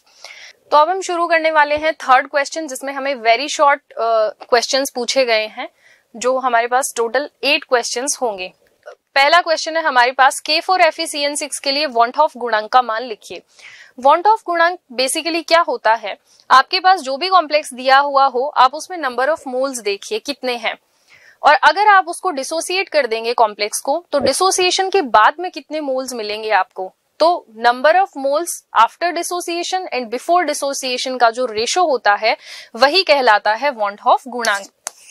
तो अगर मैं इसके लिए बात करूँ तो आप देखिए कि अगर मैं डिसोसिएशन से पहले की बात करूँ तो इसके अंदर K four F C N six ये पूरा का पूरा एक ही मोल है। तो पहले तो एक ही है, लेकिन अगर मैं डिसोसिएट कर दूँगी इसको तो आप ध्यान से देखिए कि यहाँ पे हमें कितने पोटेशियम आयन मिलेंगे? फोर के प्लस आयन मिलेंगे, यानी चार तो पोटेशियम आयन मिल गए, और एक हमारे को ये पूरा का पूरा कॉम्प्लेक्स मिलेगा। इसका मतलब कि अब हमारे पास कितने मोल्स हो चुके हैं? टोटल फाइव मोल्स हो चुके हैं। फोर प्लस वन तो ये कितने हो गए टोटल फाइव मोल्स यानी आफ्टर डिसोसिएशन हमारे पास टोटल कितने मोल्स होंगे? पाँच। और बिफोर डिसोसिएशन कितना था? एक। तो इसका मतलब वॉन्ट हॉफ फैक्टर हमारे पास क्या आ जाएगा? पाँच। अगला क्वेश्चन जो है हमारे पास वो पूछा है, एक अवयव के मोलों की संख्या और विलियन में सभी अवयवों के कुल मोलों की संख्या का अनुपात क्या कहलाता है? तो वो अनुपात कहलाता है मोल फ्रैक्शन या फिर मोल भिन्न। अब ये मोल भिन्न क्या है? कि आपके सोल्यूशन में जो भी सल्यूट प्रेजेंट है, वो सल्यूट के मोल्स अपॉन में टोटल मोल्स तो इनका जो रेशो है, वो कहलाता है हमारा मोल फ्रैक्शन नेक्स्ट क्वेश्चन पे चलेंगे। फेराडे के विद्युत अपघटन के प्रथम नियम के अनुसार का सूत्र लिखो। फेराडे का प्रथम नियम पूछा है हमसे। अब मैं आपको एक चीज़ बताती हूँ कि इलेक्ट्रोकेमिस्ट्री का एक बहुत ही ब्यूटीफुल सा एप्लीकेशन है। या मैं कहूँ इलेक्ट्रोलाइसिस का बेसिकली कि आप जो मेटल्स हैं, उनका प्योरिफिकेशन कर सकते हैं इलेक्ट्रोलाइसिस करा करके। जैसे आपके पास कॉपर का कोई इम्प्योर इलेक्ट्रोड है, ठीक है? अब आपने क्या करा इलेक्ट्रोलाइसिस करवाया वो किसी दूसरे इलेक्ट्रोड पे मेटल जो है, वो जाकर के डिपोजिट हो रहा है और इम्प्योरिटीज जो है, वो सोल्यूशन में घुल जाएँगी। अब ये प्योर कॉपर कितना डिपोजिट हुआ है, इसकी मात्रा बताता है हमें फेराडे का फ़र्स्ट लो तो फेराडे का फ़र्स्ट लो क्या कहता है? कि ये जो मात्रा डिपॉजिट होगी, वो किसके बराबर होगी? क्यू? आवेश के बराबर। यानी कितना आवेश उसमें प्रवाहित हो रहा है, उस पर डिपेंड करेगा W. तो W is directly proportional to Q, और आपको पता होगा कि यहीं से जब हम ये प्रोपोर्शनल का साइन हटाते हैं तो हमारे पास Z एक कांस्टेंट आता है, जिसको हम इलेक्ट्रोकेमिकल इक्विवेलेंट बोलते हैं। तो Z Q के इक्वल होता है, और आप सब जानते हैं कि इसको Q को हम क्या लिख सकते हैं? IT लिख सकते हैं। Q is equal to I होता है। तो यहाँ से Z क्या निकल करके आता है? W अपॉन आई तो इलेक्ट्रोकेमिकल इक्विवेलेंट से रिलेटेड जो आपको एमसीक्यू में क्वेश्चन पूछा गया था, वो यहीं से है। इसके बाद में नेक्स्ट क्वेश्चन है हमारे पास। डी ब्लॉक तत्वों का सामान्य इलेक्ट्रॉनिक विन्यास लिखिए। अब आप सभी जानते हैं कि डी ब्लॉक तत्वों का सामान्य इलेक्ट्रॉनिक विन्यास क्या होता है? N minus one D one to ten यानी डी में एक से लेकर के दस इलेक्ट्रॉन हो सकते हैं। और N S one to two यानी जो आपका एस उपकोष है, उसके अंदर एक से दो इलेक्ट्रॉन हो सकते हैं। जैसे कि मैं आपको विन्यास लिख के बताती हूँ मैगनीज का। तो एम का जब आप इलेक्ट्रॉनिक कॉन्फ़िगरेशन लिखते हैं तो आपको पता है कि वो क्या आता है? Three D five four S two अब आप देखिए एन एस यानी four S N minus one D यानी फोर माइनस वन का मतलब थ्री डी तो डी थ्री होगा और इसमें टोटल कितने इलेक्ट्रॉन्स है? पाँच इलेक्ट्रॉन्स हैं। नेक्स्ट क्वेश्चन है हमारे पास F E H two whole five NO two plus संकुल में आयरन की समन्वय संख्या क्या है? यानी इसका कोऑर्डिनेशन नंबर क्या है? तो जब आप इसकी समन्वय संख्या निकालेंगे तो आपको क्या देखना है बेसिकली कि यहाँ पे ये जो मेटल प्रेजेंट है, इस मेटल के साथ कितने लिगेंड जुड़े हुए हैं? तो आप क्या देख रहे हैं कि पाँच तो यहाँ पे H2O है। तो पाँच तो वाटर मॉलिक्यूल्स है और एक NO जुड़ा हुआ है नाइट्रोसिल लिगेंड लगा हुआ है। इसका मतलब आयरन का कोऑर्डिनेशन नंबर क्या हो जाता है यहाँ पे? सिक्स तो बहुत ही इजी क्वेश्चन है। नेक्स्ट क्वेश्चन है हमारे पास वाइटामिन बी ट्वेल्व किस तत्व का बना उप सह संयोजक यौगिक है?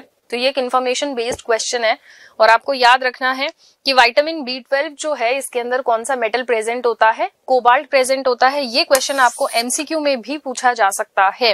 नेक्स्ट क्वेश्चन है, हमारे पास दूध में कौन सी शर्करा पाई जाती है? तो दूध में लेक्टोज पाई जाती है, हम सभी जानते हैं। नाइट्रोबेंजीन का अपचयन एस एन प्लस एच से कराने पर क्या होता है? ये भी काफ़ी इंपॉर्टेंट क्वेश्चन है। और कहीं ना कहीं पूछ ही लिया जाता है। तो सबसे पहले हमें नाइट्रोबेंजीन का फॉर्मूला पता होना चाहिए।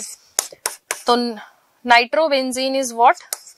बेंजीन के ऊपर नाइट्रो समूह लगा हुआ है, इसको हम कहते हैं नाइट्रोबेंजीन। अपचयन कराना है एस एन प्लस एचसीएल की प्रेजेंस में। जब नाइट्रोबेंजीन का अपचयन होता है तो ये NO2 किसमें कन्वर्ट हो जाता है? NH2 में कन्वर्ट हो जाता है। तो यहाँ से आपको क्या मिल जाता है? नाइट्रोबेंजीन से एनिलीन मिल जाता है। ये जो कंपाउंड बना है बच्चे, इसको बोलते हैं एनिलीन। तो हमारे पास नाइट्रोबेंजीन से क्या मिल गया? एनिलीन। तो अब हम स्टार्ट करते हैं हमारा सेक्शन बी सेक्शन ए हम कंप्लीट कर चुके हैं। सेक्शन ए में तीनों टाइप के क्वेश्चंस हमारे हो चुके हैं। अब हम सेक्शन बी स्टार्ट करते हैं।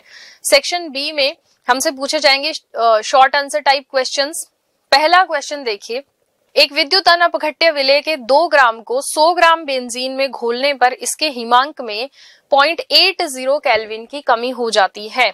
यानी हिमांक अवनमन का सवाल है, ये यहाँ से हमें समझ में आ गया। बेंजीन का हिमांक अवनमन स्थिरांक हमें दे रखा है 5.12 केल्विन किलोग्राम पर मोल। विलय का मोलर द्रव्यमान ज्ञात कीजिए। अब आप देखिए, यहाँ पे आपको क्या क्या दिया हुआ है। एक विलय दे रखा है, उसकी मात्रा दे रखी है दो ग्राम। यानी आपने एक विलायक लिया। विलायक कौन है? बेंजीन है। कितना है विलायक? 100 ग्राम। 100 ग्राम बेंजीन के अंदर आपने दो ग्राम कोई विलय मिलाया। और जब आपने विलय मिलाया तो इसके हिमांक में कितनी कमी हुई? 0.80 कैल्विन की कमी हो जाती है। और इसका जो हिमांक अवनमन स्थिरांक है, वो भी आपको दे रखा है कितना? 5.12 अब ये पूछ रहा है कि विले का मोलर द्रव्यमान ज्ञात कीजिए। यानी ये जो विले आपने घोला है दो ग्राम, इसका मोलर द्रव्यमान कितना है, ये हमें पता करना है। तो देखिए, इसके लिए हमारे पास फॉर्मूला क्या होता है? M A is equal to thousand K F W A upon delta T F W B अब यहाँ पे ये जो फॉर्मूले में वैल्यूज़ रखी गई हैं, ये क्या है, ये हमें पता होना चाहिए। तो देखो के एफ़ क्या है? ये के एफ़ जो है हमारा, ये हिमांक अवनमन स्थिरांक है, ठीक है? डब्ल्यू ए क्या है? ये हमारा विलय का द्रव्यमान है, जितना भी विलय हमने घोला है, जैसे हमने दो ग्राम विलय घोला था, सौ ग्राम बेंजीन के अंदर तो ये विलय का द्रव्यमान है। डेल्टा टी एफ़ है, हिमांक में अवनमन कितना हुआ? तो वो डेल्टा टी एफ़ है और डब्ल्यू बी क्या है आपके? विलायक का द्रव्यमान डब्ल्यू बी है। अब आप इसमें वैल्यूज़ पुट कर दीजिए। तो थाउज़ेंड इंटू अब आप देखिए के एफ़ की वैल्यू हमें क्या दे रखी थी? फाइव पॉइंट वन टू विलय का द्रव्यमान कितना है? टू ग्राम्स अपॉन हिमांक में अवनमन कितना हुआ था? 0.80 कैलविन तो will put this here and 100 grams क्या था हमारा? विलायक का द्रव्यमान। तो जब हम इसको सॉल्व करते हैं तो आंसर हमारे पास आता है 128 ग्राम पर मोल आप लोग खुद इसका कैलकुलेशन करके देखिएगा। नेक्स्ट क्वेश्चन है हमारे पास, स्थिर क्वाथी मिश्रण क्या होते हैं और ये कितने प्रकार के होते हैं?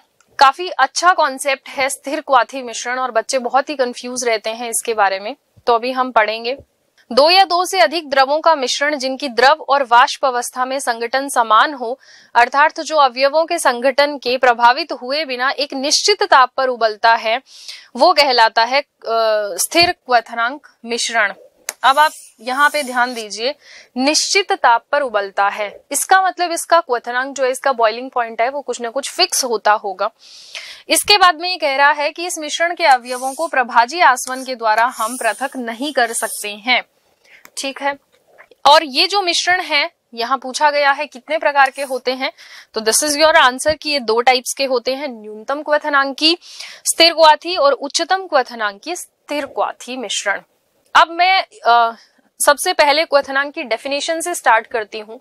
तो क्वेथनांक की डेफिनेशन आज तक हमने जो पढ़ी है, एक जनरल डेफिनेशन तो हम पढ़ते हैं कि वो ताप जिस पे कोई भी द्रव उबलना शुरू कर देता है, यानी वो जो द्रव है, वो लिक्विड से गैशियस स्टेट में जाने लग जाए, वो जो टेम्परेचर होता है, उसको हम कहते हैं बॉइलिंग पॉइंट या फिर क्वेथनांक एक और परिभाषा जो इसकी स्टैंडर्ड डेफिनेशन है और बहुत प्यारी डेफिनेशन है, वो ये है कि ऐसा टेम्परेचर जिसपे वाष्प दाब, वायुमंडलीय दाब के बराबर हो जाए, वो टेम्परेचर कहलाता है किसी भी सोल्यूशन के लिए या किसी भी लिक्विड के लिए उसका बॉइलिंग पॉइंट अब आप देखिए, वाष्प दाब किसके बराबर हो जाए? वायुमंडलीय दाब के बराबर. तो वाष्प दाब क्या होता है? देखिए, जब भी आप एनर्जी देते हैं बाहर से टेम्परेचर बढ़ाते हैं, और वो लिक्विड गैस में कन्वर्ट होना शुरू होता है तो वो जो गैस है, वो जो वाष्प है, वो एक दाब लगाती है उस लिक्विड के ऊपर. उसको बोला जाता है वाष्प दाब.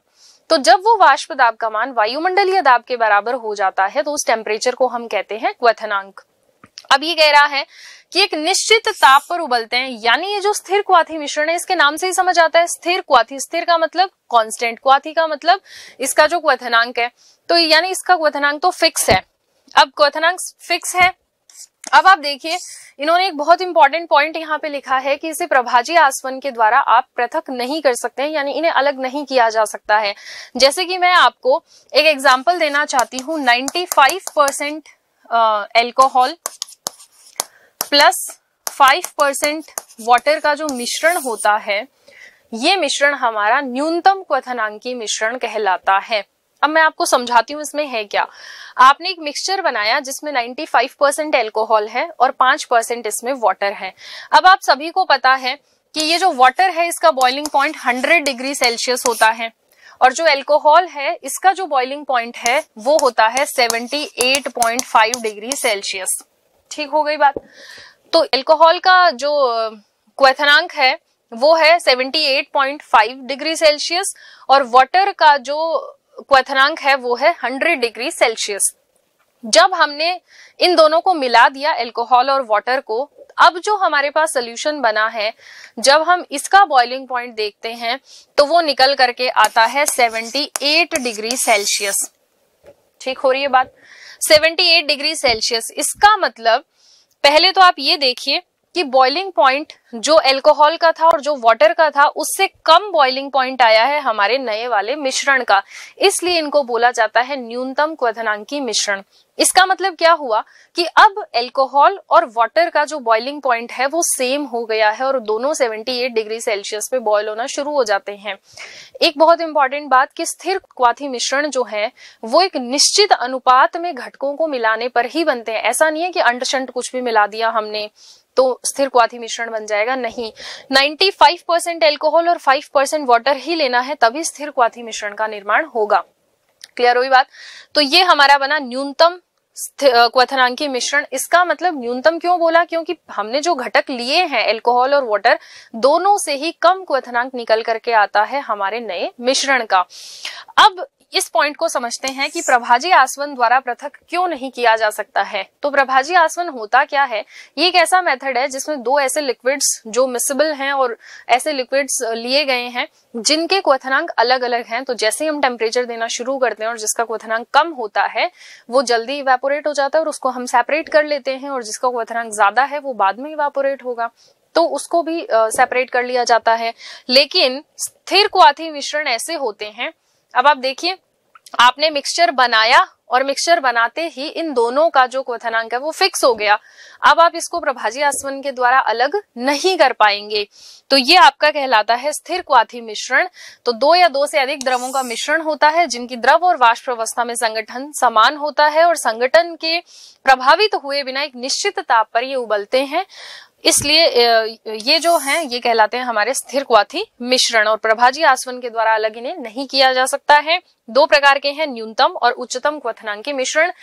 उच्चतम क्वथनांकी में क्या होगा कि आप जो भी घटक लेंगे, उनसे कुछ ज़्यादा उस मिश्रण का क्वथनांक निकल करके आएगा, लेकिन वो दोनों के लिए सेम होगा। तो इसलिए उसको कहते हैं उच्चतम क्वथनांकी मिश्रण। अब हम चलते हैं नेक्स्ट क्वेश्चन की तरफ़। अगला सवाल है, अभिक्रिया two A plus B gives product इसके लिए हमें अवकलन वेग समीकरण लिखनी है, यानी डिफरेंशियल रेट इक्वेशन हमें लिखनी है। अब आप देखिए two A plus B gives product ये हमें दे रखी है, एक अभिक्रिया दी हुई है। अब आप जब इसके लिए रेट इक्वेशन लिखेंगे तो देखिए जो भी रिएक्टेंट्स होते हैं, इनके लिए जब आप रेट लिखते हैं तो हमेशा माइनस का साइन लगाया जाता है। तो माइनस यहाँ पे इनके जो भी नंबर ऑफ़ मोल्स दिए हुए होते हैं, उनको हमें लिखना है, ऐसे one by two D A upon D T is equal to minus यहाँ पे इसके आगे कुछ नहीं है मतलब वन है तो मैं कुछ भी नहीं लिखूँगी। वन बाई वन लिखने का कोई मतलब नहीं है तो हम लिखेंगे minus D B upon D T is equal to K ये हमारा रेट कांस्टेंट है। अब आप देखिए, हमारे पास कितने रिएक्टेंट है? दो ए और बी ए के कितने मोल्स दे रखे हैं? टू ये इसकी पावर में जाएँगे तो ए का बन जाएगा स्क्वायर और बी के पावर में वन जाएगा तो कुछ नहीं. तो के ए स्क्वायर बी ये इसके लिए हो जाएगी हमारी रेट इक्वेशन देखिए minus one by two D A upon D T is equal to minus D B upon D T is equal to K A square B अगला क्वेश्चन है हमारे पास कॉपर सल्फेट की पोटेशियम फेरोसाइनाइड के साथ होने वाली अभिक्रिया का समीकरण दीजिए. यहाँ पे एक बात ध्यान दीजिए, आपको लिख के दिया है फेरोसाइनाइड। तो फेरोसाइनाइड और फेरी, यानी फेरो और फेरी में डिफरेंस हमें पता होना चाहिए। तो यहाँ पे ध्यान दीजिए, फेरोसाइनाइड।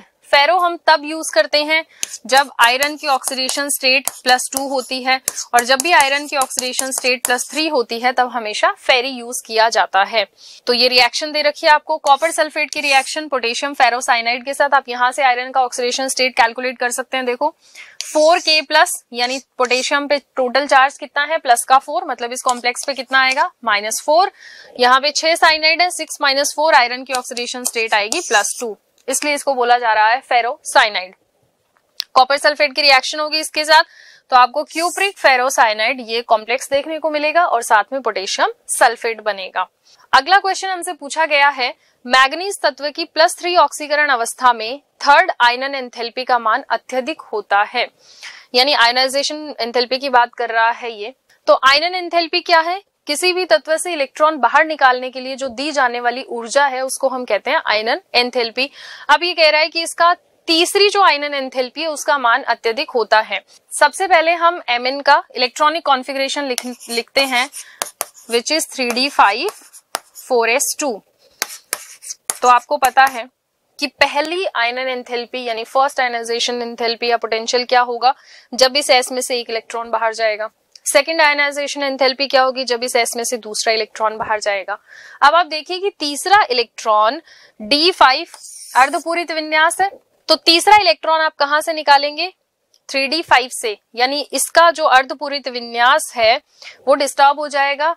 तो इसलिए थर्ड आयनाइजेशन एंथैल्पी जो है, उसकी वैल्यू हाई होती है। यही यहाँ लिखा हुआ है थर्ड आयनन विभव में इलेक्ट्रॉन अर्धपूर्ण भरे स्थायी व्यवस्था में से निकालने के कारण ये जो एंथेल्पी है, इसकी वैल्यू हाई होती है। अगला क्वेश्चन है हमारे पास, निम्न आयन में संकरण अवस्था, आकृति और चुंबकीय प्रकृति बताइए। संकरण अवस्था का मतलब क्या है? हाइब्रिडाइजेशन बताना है आपको। आकृति का मतलब शेप बताना है और चुंबकीय प्रकृति का मतलब है, आपको ये बताना है कि ये अनुचुंबकीय है या फिर प्रतिचुंबकीय। अब आप देखिए कौन सा आयन दिया गया है आपको। C R N S three six three plus ये आपको आयन दे रखा है। तो अगर मैं सी आर थ्री प्लस की बात करूँ, पहले सी आर का इलेक्ट्रॉनिक कॉन्फ़िगरेशन लिख लेते हैं three D five four S one अर्धपूरित दिखाते हैं हम। अब सी आर थ्री प्लस की बात करूँ तो तीन इलेक्ट्रॉन निकाल दीजिए यहाँ से। तो कितने इलेक्ट्रॉन बचेंगे?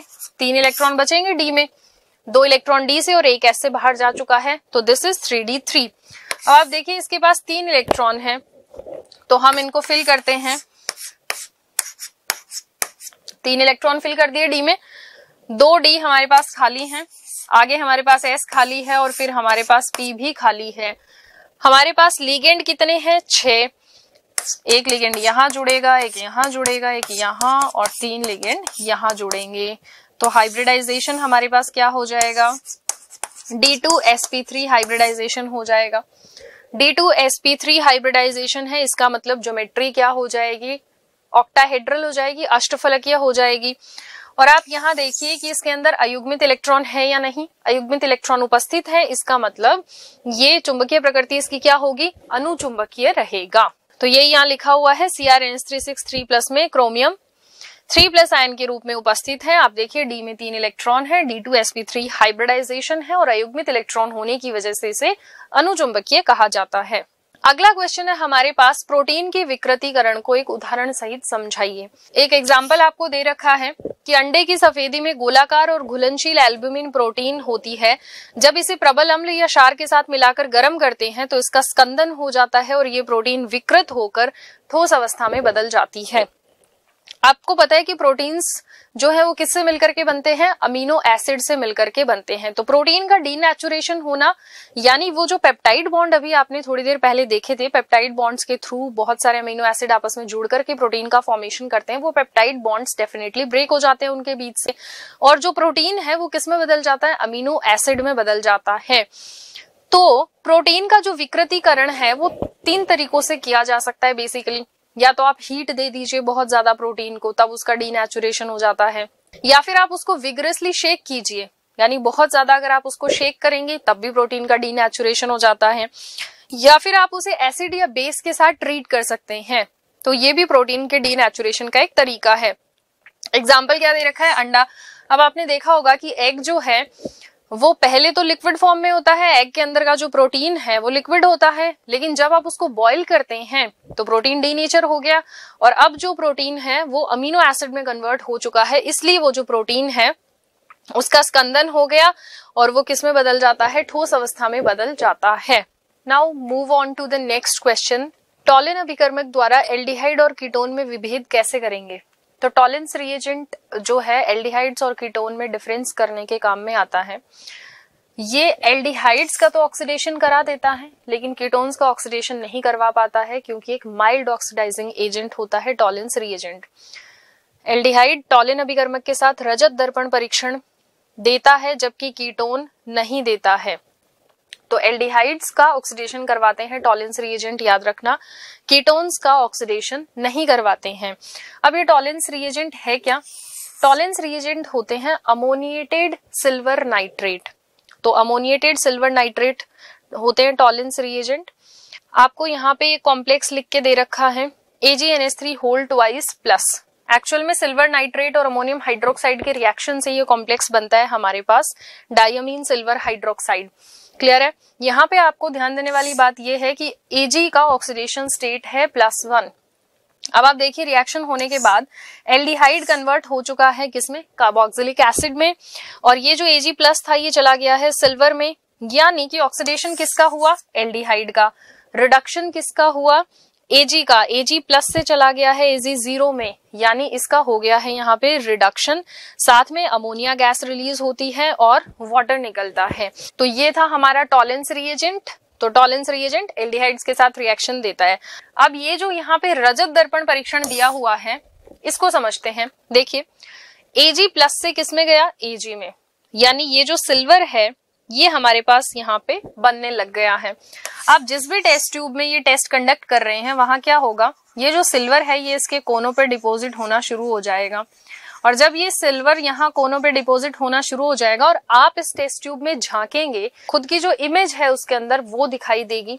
इसका मतलब कि ये किसकी तरह काम करेगा? मिरर की तरह काम करेगा। इसलिए इसको बोला जाता है सिल्वर मिरर टेस्ट या फिर रजत दर्पण परीक्षण। क्लियर हो गई बात? तो ये हमारा टॉलेंस रिएजेंट का क्वेश्चन हुआ। नेक्स्ट क्वेश्चन हमें दे रखा है, निम्न रासायनिक अभिक्रियाओं को पूरा कीजिए। तीन रिएक्शंस आपको दी हुई हैं। सबसे पहली है एल्काइल आयोडाइड की रिएक्शन करवा रखी है सिल्वर फ्लोराइड के साथ। सेकेंड रिएक्शन में आपको सॉल्ट दे रखा है कार्बोक्सिलिक एसिड का सिल्वर सॉल्ट दिया हुआ है। रिएक्शन है बी के साथ सीसीएल की प्रेजेंस में।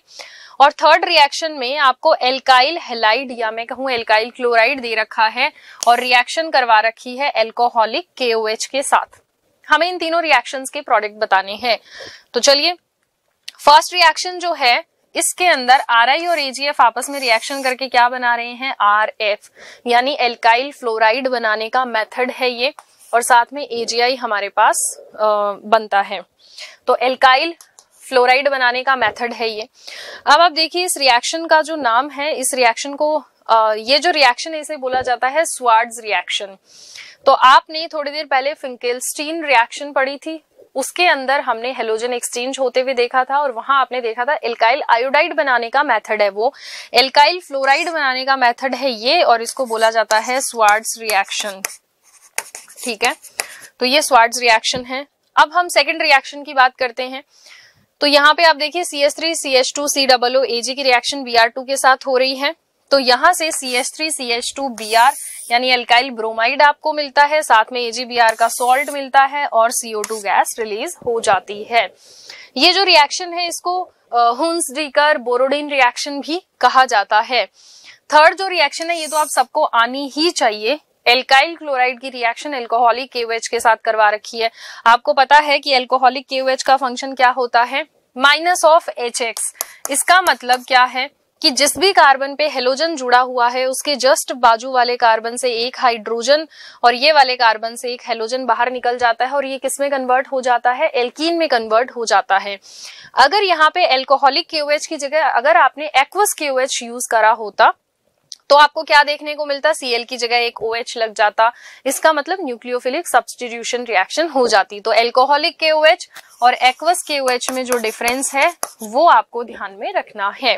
तो थर्ड रिएक्शन में हमें क्या मिलेगी? एल्कीन मिलेगी। मतलब यहाँ तीन कार्बन है तो प्रोपीन आपको मिल जाएगी। अगला क्वेश्चन है हमारे पास। यहाँ पे भी तीन रिएक्शन दी हुई है और हमें इनके प्रोडक्ट लिखने हैं। तो फ़र्स्ट रिएक्शन देखिए। C S three C L यानी एल्काइल क्लोराइड के रिएक्शन किसके साथ है? सिल्वर साइनाइड के साथ है। और यहाँ से हमें क्या मिलता है? आइसोसाइनाइड मिलता है। तो मिथाइल आइसोसाइनाइड बनाने का मेथड है ये। सेकेंड रिएक्शन जो हमें दे रखी है, वो है एल्काइल ब्रोमाइड की के एनओ टू के साथ रिएक्शन और आप देखिए कि यहाँ से हमको क्या मिल रहा है? इथाइल नाइट्राइट मिल रहा है ओ एन ओ साथ में के बाहर निकल जाता है। ध्यान देने वाली बात यह है कि आपको यहाँ पे बी आर हटा करके एनओ टू नहीं जोड़ना है। एक्चुअल में ये कहाँ से जुड़ता है? ऑक्सीजन से जुड़ता है। तो ओ एन ओ बनता है। यहाँ पे भी एन नहीं जुड़ता नाइट्रोजन से ये जो है कार्बन इसके साथ जुड़ता है। तो वहाँ पे आइसोसाइनाइड मिलता है और यहाँ पे हमको इथाइल नाइट्राइट मिलता है। इसके बाद में जो थर्ड रिएक्शन है, उसके अंदर आपको दे रखा है एनिलिन। रिएक्शन किसके साथ करा रखी है? एनएनओ2 प्लस एचसीएल के साथ करा रखी है। अब आपको पता है कि जब भी एनएनओ2 के साथ रिएक्शन होगी, किसकी? NH2 की। तो यहाँ से हमेशा आपको डाइजोनियम सॉल्ट मिलेगा। इस रिएक्शन को तो आप बिल्कुल अपने दिमाग में बिठा लीजिए कि जब भी इस तरीके की अमीन की रिएक्शन जैसे ये एरोमेटिक अमीन है, इसको हम एनिलीन बोलते हैं। तो अमीन कोई भी टाइप का हो NaNO2 प्लस HCl के साथ इसकी रिएक्शन होगी तो आपको मिलेगा डाइजोनियम क्लोराइड इसके बाद में सेकंड स्टेप में क्या कर रखा है कॉपर के सॉल्ट के साथ रिएक्शन करवा रखी है, और यहाँ से आपको मिल रहा है ब्रोमोबेंजीन एक्चुअल में ये भी एक नेम रिएक्शन है सैंड मेयर रिएक्शन बोला जाता है इसको।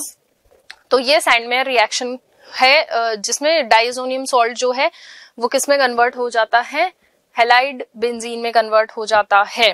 हेलो बेंजीन में कन्वर्ट हो जाता है। ठीक है? तो ये हमारी थर्ड रिएक्शन कंप्लीट होती है। नेक्स्ट क्वेश्चन है हमारे पास क्लोरोबेंजीन से फिनॉल बनाने की रासायनिक अभिक्रिया लिखिए। क्लोरोबेंजीन से फिनॉल डाउ प्रोसेस के द्वारा बनाया जाता है। तो ये डाउस प्रोसेस है, इसको आप ध्यान रखना। डाउस प्रोसेस क्या कहता है? क्लोरोबेंजीन की रिएक्शन करानी है आपको NaOH के साथ। इसका टेम्परेचर और प्रेशर जो है वो बहुत स्पेसिफिक है। इसको ध्यान रखना 623 केल्विन टेम्परेचर है और 300 एटमॉस्फेरिक यहाँ पे प्रेशर है। तो इसकी जब हम रिएक्शन करवाते हैं तो हमें एक फिनॉक्साइड आयन मिलता है। फिनॉक्साइड आयन को आगे जब हम एच के साथ ट्रीट कराते हैं तो यहाँ से NaCl बाहर निकल जाता है और हमें मिलता है फिनोल यहाँ से डायरेक्ट आपको फिनोल नहीं बनाना है। पहले बनेगा फिनोक्साइड आयन फिनोक्साइड आयन की रिएक्शन HCl से कराएँगे या एसिडिक मीडियम देंगे। H प्लस लिखा हुआ आ जाए या H plus in the presence of water लिखा आ जाए, कुछ भी एसिडिक मीडियम अगर आपको दिया हुआ है तो फिर आप यहाँ से आगे फिनोल बनाएँगे। तो ये जो है, ये इंडस्ट्रियल प्रोसेस है फिनोल बनाने का डाउस प्रोसेस जो है, इसका मतलब आप समझ सकते हैं। ये इकोनॉमिकली फेवरेबल है, इसीलिए इंडस्ट्रियल प्रोसेस ये है। नेक्स्ट क्वेश्चन है, हमारे पास निम्नलिखित अभिक्रियाओं के समीकरण दीजिए।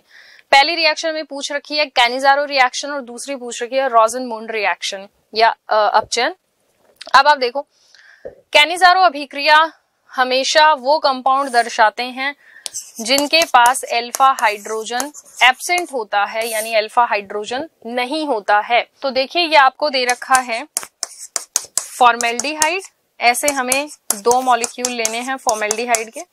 बेसिक मीडियम में रिएक्शन होती है तो पहली चीज़ कैनिजारो के बारे में क्या याद रखेंगे आप लोग?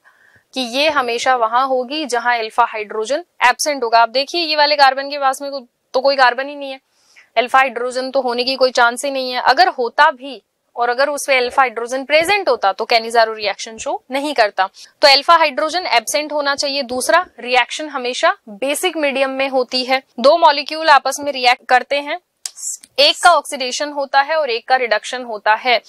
अब आप देखिए कि एल्डिहाइड के ऑक्सीडेशन से क्या बनेगा? कार्बोक्सिलिक एसिड बनेगा। और एल्डिहाइड के रिडक्शन से क्या बनेगा? एल्कोहल बनेगा। इसका मतलब एक ही टाइप के मॉलिक्यूल से दो अलग अलग टाइप के प्रोडक्ट मिलेंगे। आप यहाँ पे देख सकते हैं, एक आपको एल्कोहल मिल रहा है और एक आपको एसिड का सॉल्ट मिल रहा है। केओएच ले रखा है, इसलिए सी डबल के इसका मतलब कि इस रिएक्शन को हम डिस्प्रोपोर्शनेशन रिएक्शन बोल सकते हैं। क्योंकि इसी का ऑक्सीडेशन और इसी का रिडक्शन हो रहा है। क्लियर हुई बात? तो ये हमारी कैनिजारो रिएक्शन है। सेकेंड जो रिएक्शन दे रखी है हमें, वो है रोजन मुंड अपचैन ये भी बहुत इंपॉर्टेंट रिएक्शन है। रोजन मुंड अपचैन एसिड क्लोराइड दिखाते हैं। एक्चुअल में कुछ भी नहीं है। अपचयन करवाना है हाइड्रोजन की प्रेजेंस में। यहाँ जो कैटलिस्ट काम में लिया जाता है, वो बहुत ही इंपॉर्टेंट है। लिंडलर कैटलिस्ट बोलते हैं इसको। पीडी बी एसओ फोर जो है, इसको बोला जाता है लिंडलर कैटलिस्ट इसको आप ध्यान रखेंगे।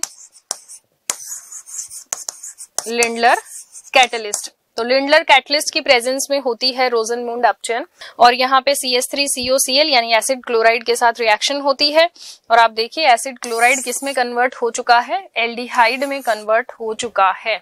तो दिस इज़ रोजनमुल्ड रिडक्शन अब हम चलते हैं हमारे सेक्शन सी की तरफ़। अब आपको सेक्शन सी और डी में अथवा वाले क्वेश्चंस मिलेंगे तो आप अपनी चॉइस के अकॉर्डिंग वहाँ पे क्वेश्चन अटेम्प्ट कर सकते हैं। पहला क्वेश्चन देखते हैं हम। निम्नलिखित अभिक्रियाओं को पूरा कीजिए, एवं ए और बी को पहचानिए। चलिए तो हम क्वेश्चंस देखते हैं। सबसे पहले आपको एक रिएक्शन दे रखी है R C U N H two यानी एसिटामाइड दे रखा है आपको। रिएक्शन है B R two plus K O H के साथ। यहाँ से कुछ एक प्रोडक्ट बन रहा है ए इसकी रिएक्शन करा रहे हैं C H C L three plus K O H के साथ, यानी chloroform in the presence of basic medium base यहाँ से कुछ प्रोडक्ट बन रहा है बी तो हमें ए और बी दोनों बताने हैं। सेकंड जो आपके पास क्वेश्चन है, इसके अंदर पूछ रखा है आईयूपीएससी नाम बताइए इन दोनों के।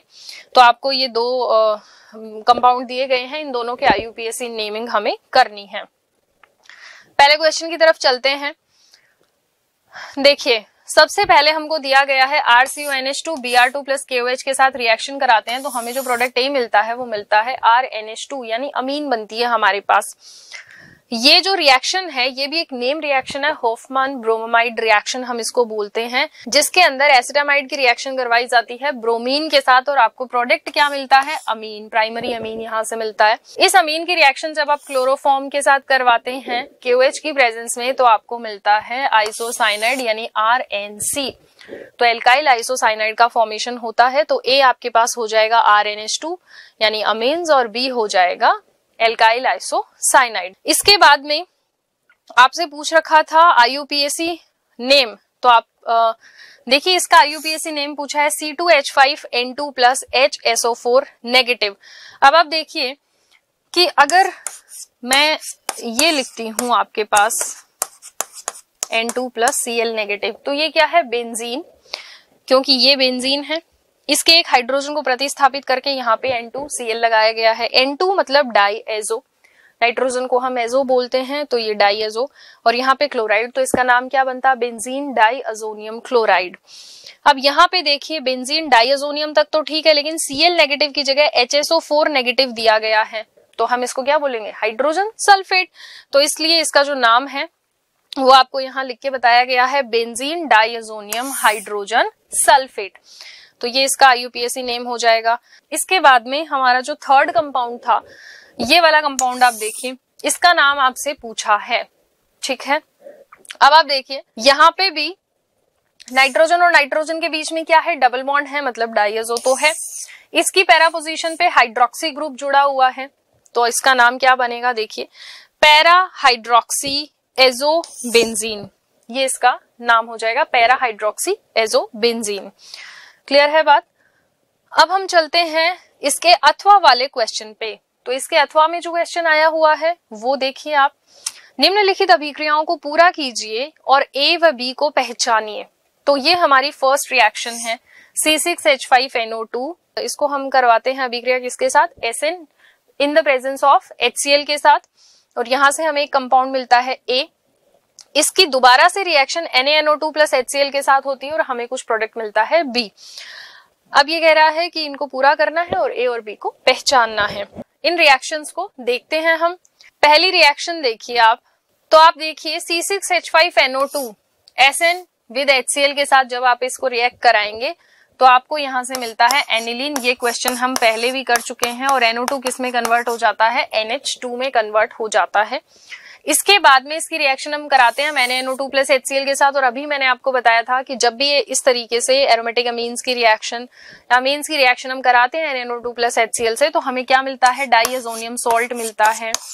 तो यहाँ से हमें क्या मिल जाएगा? N two plus C L negative diazonium chloride benzene diazonium chloride तो ए हमारा हो जाएगा एनिलीन और बी हो जाएगा बेंजीन डाइजोनियम क्लोराइड देखिए, यहाँ पे आंसर भी दिया हुआ है आपको एनिलीन और बेंजीन डाइजोनियम क्लोराइड इसके बाद में हमें आईयूपीएससी नेम पूछ रखे हैं। तो अब हम आईयूपीएससी नेमिंग देखते हैं। हमारे पास दो कंपाउंड दिए गए हैं। इसको देखिए सबसे पहले। ये क्या है? एसिडमाइड तो आप देखिए नाइट्रोजन के साथ सब्सटीट्यूएंट क्या लगा हुआ है? सी एच थ्री तो हम क्या लिखेंगे? इसका नाम एन मिथाइल और ये क्या है? बेंजनमाइड तो एन मिथाइल बेंजनमाइड हो जाएगा इसका नाम। आप यहाँ पे देखिए एन मैथिल बेंजामाइड या फिर एन मिथाइल बेंजामाइड इसका नाम हो जाएगा। इसके बाद जो सेकंड हमको कंपाउंड दिया गया है, ये देखिए। ये क्या है? अमीन है। कौन सी अमीन है? टर्शरी अमीन है। तो आपको अपनी मेन चेन सेलेक्ट करनी है पहले तो लॉन्गेस्ट कार्बन चेन तो ये हो जाएगी हमारी। अब आप देखिए नाइट्रोजन के साथ प्रतिस्थापी कौन लगे हुए हैं?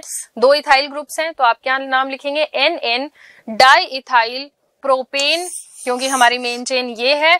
और वन अमीन या फिर प्रोपेनेमीन सीधा भी आप लिख सकते हैं। तो इसका नाम देखेंगे हम N N dimethyl propane one amine या प्रोपेनेमीन कैसे भी आप लिख सकते हैं। तो ये हमारा सेक्शन सी का पहला क्वेश्चन कंप्लीट होता है।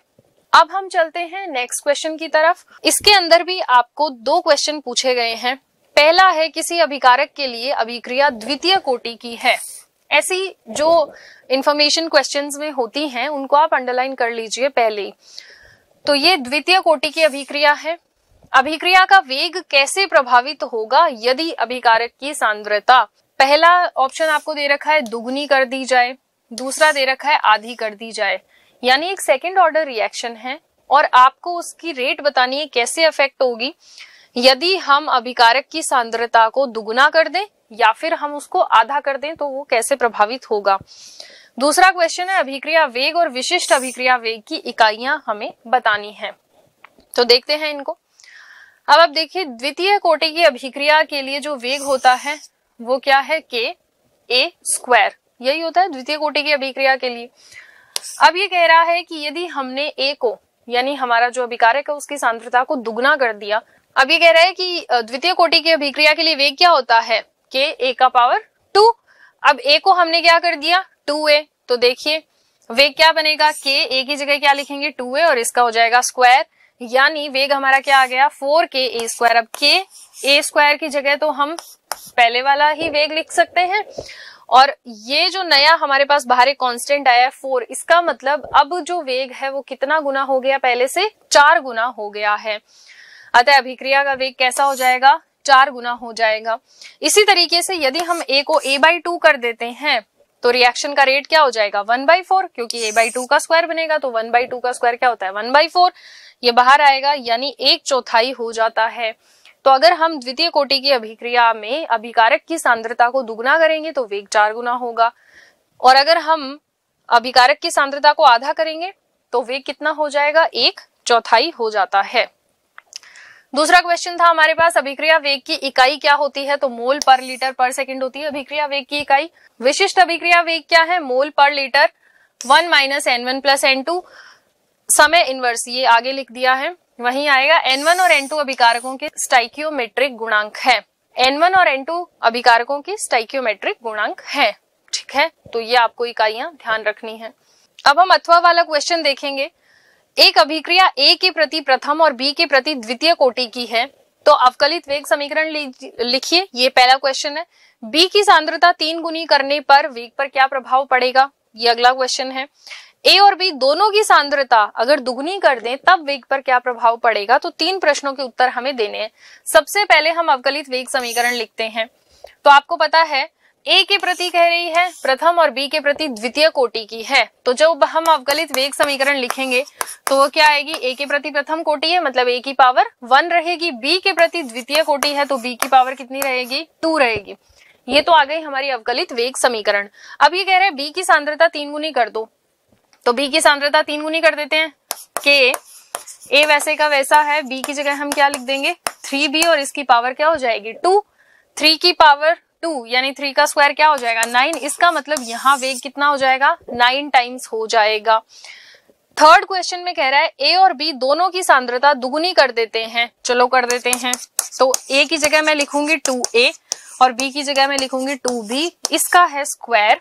अब आप बताइए, टू का square, four four into two कितना हो जाएगा? एट इसका मतलब ये कितनी हो जाएगी? एट टाइम्स हो जाएगी। आंसर देखते हैं। यहाँ आप देखिए सबसे पहले अवकलित वेग समीकरण दे रखी है के ए बी स्क्वायर वेग कितना होगा? नौ गुना. और थर्ड वाले में जब ए और बी दोनों की सांद्रता हम दुगुनी कर देंगे, तब वेग हो जाएगा आठ गुना. तो ये हमारा कंप्लीट होता है क्वेश्चन नंबर सेवनटीन अब हम नेक्स्ट क्वेश्चन देखते हैं. यहाँ ये कह रहा है, निम्न अभिक्रियाओं के लिए रासायनिक समीकरण दीजिए. फिनॉल टू की उपस्थिति में टू से क्रिया करती है. इथेनॉल को कॉपर के साथ 300 डिग्री सेंटीग्रेड पर गुजारते हैं. और इसी के अंदर एक सेकंड क्वेश्चन हमसे पूछा है कि निम्न यौगिक का आईयूपीएसी नाम दीजिए। C H three O C H C H three का होल्ड वाइस सभी को दिख रहा होगा ईथर है ये। ठीक है? और जब हम ईथर का नामकरण करते हैं तो हम एक हमारा मेन चेन सेलेक्ट करते हैं और जो पीछे बच जाता है, उसके पीछे हम ऑक्सी लगा देते हैं। और जो मेन चेन है, उसके पीछे एन लगता है। तो एल्कॉक्सी एल्केन हम ईथर्स का नामकरण करते हैं। तो अभी हम देखते हैं इस क्वेश्चन को डिटेल में।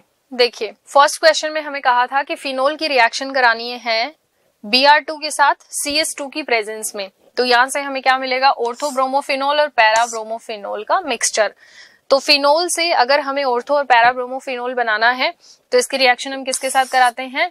सी एस टू की प्रेजेंस में बी आर टू के साथ रिएक्शन करवाते हैं। सेकंड हमें दे रखा है C S three C H two O H यानी एल्कोहल की रिएक्शन कहाँ करवा रखी है? कॉपर के साथ 300 डिग्री सेल्सियस पे।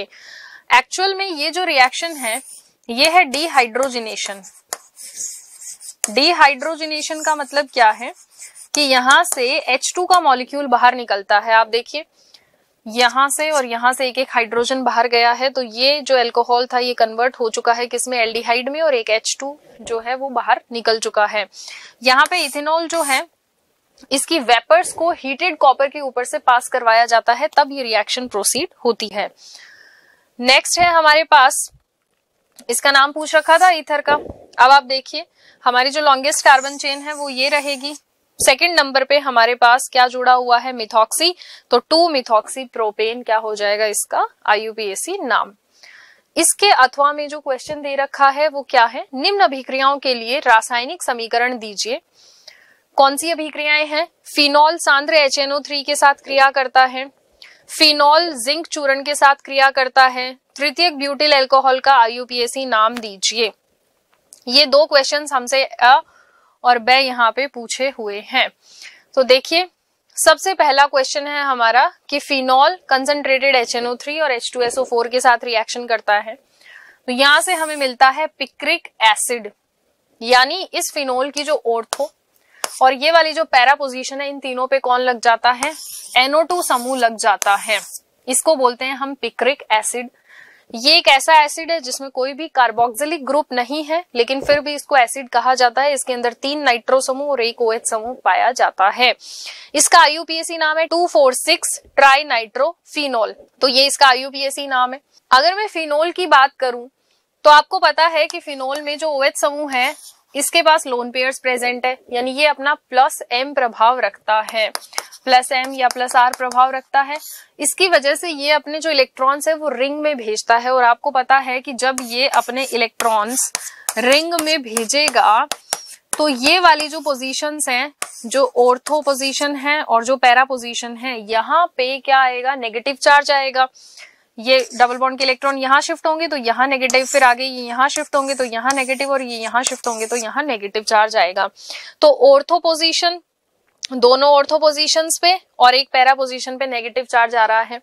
आपको पता है कि जब हम इसके साथ रिएक्शन कराते हैं तो यहाँ से जो इलेक्ट्रोफाइल जनरेट होता है, वो NO2 प्लस होता है। यानी कि ये जो हमारी बेंजीन है, ये इलेक्ट्रॉन रिच होने के कारण किसकी तरह बिहेव करती है? एक न्यूक्लियोफाइल की तरह बिहेव करती है। और यहाँ से जो हमारा इलेक्ट्रोफाइल जनरेट हुआ है NO2 पॉजिटिव उसके ऊपर अटैक करती है। तो NO2 पॉजिटिव जो है, वो यहाँ आकर के जुड़ता है। लेकिन अगर आप ये HNO3 कंसंट्रेटेड लेते हैं तो इसकी ऑर्थो और पैरा तीनों पोजिशन ऑक्यूपाई होती हैं। लेकिन अगर आप डाइल्यूट HNO3 लेते हैं तो आपको ऑर्थो या फिर पैरा वाला प्रोडक्ट देखने को मिलता है। क्लियर है?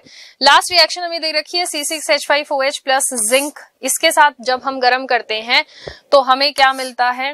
बेंजीन मिलता है और साथ में जिंक ऑक्साइड मिलता है तो ये भी काइंड ऑफ़ रिएक्शन है। इसके बाद हमसे पूछा गया था तृतीय ब्यूटिल एल्कोहल का नाम। तो तृतीय ब्यूटिल एल्कोहल है क्या? ये तृतीय ब्यूटिल एल्कोहल का स्ट्रक्चरल फॉर्मूला है। एक कार्बन के साथ तीन तीन सी एच थ्री समूह लगे हुए हैं। और एक ओ OH समूह है। इसे कहा जाता है तृतीय ब्यूटिल एल्कोहल और इसका आईयूपीएसी नाम आप नंबरिंग कर लीजिए, कहीं से भी तीन कार्बन ही निकलेंगे। सेकंड पे देखिए आप क्या जुड़ा हुआ है। पोजीशन सेकंड पोजीशन पे क्या जुड़ा हुआ है? मिथाइल एज अ सब्सटीट्यूएंट तो हम पहले उसका नाम लिखेंगे। टू मिथाइल टू प्रोपेनॉल तो ये इसका हो जाएगा। आईयूपीएसी नेम तो अब हम आ जाते हैं सेक्शन डी में। यहाँ हमें ऐसे टाइप क्वेश्चंस देखने को मिलेंगे। मैं आपको पहले ही बता चुकी हूँ कि केवल दो ही चैप्टर से आपको ऐसे टाइप क्वेश्चंस प्रिपेयर करने हैं, वहीं से आने हैं। तो फ़र्स्ट क्वेश्चन की तरफ़ बढ़ते हैं। निम्नलिखित यौगिकों को उनके बढ़ते हुए अम्ल सामर्थ्य में व्यवस्थित कीजिए। ये यौगिक हैं C F three C double O H B R C H two C double O H N O two C H two C double O H इन तीनों में से। सबसे ज़्यादा एसिडिक नेचर किसका है? अम्लीय सामर्थ्य किसकी सबसे ज़्यादा है वो बताना है। सेकंड क्वेश्चन है ब्यूटेन वन ऑल और ब्यूटेन वन अमीन में कौन जल में अधिक विलय होगा और क्यों? थर्ड क्वेश्चन है बेंजोइल क्लोराइड को बेंजेल्डिहाइड में परिवर्तित करने का समीकरण दीजिए। थर्ड क्वेश्चन वैसे हम अभी पीछे आ, करके आ चुके हैं तो वैसे आपको इसका आंसर पता होना चाहिए पर एक बार और हम यहाँ देख लेंगे। पहला क्वेश्चन देखिए आप। इनका जो एसिडिक नेचर का ऑर्डर है वो ये है। सबसे ज़्यादा एसिडिक कौन होगा? C F three C double O H reason क्या है? फ्लोरीन का हाई इलेक्ट्रोनेगेटिव इफ़ेक्ट लगता है माइनस आई और एक कार्बन से तीन तीन फ्लोरीन लगे हुए हैं तो उनका बहुत ज़्यादा स्ट्रॉन्ग माइनस आई इफ़ेक्ट लगता है। यहाँ जो NO2 है, आप लोगों के दिमाग में ऐसा रहता है कि NO2 का माइनस एम इफ़ेक्ट लगता है बट माइनस एम तब लगता जब ये रेजोनेंस में जाता।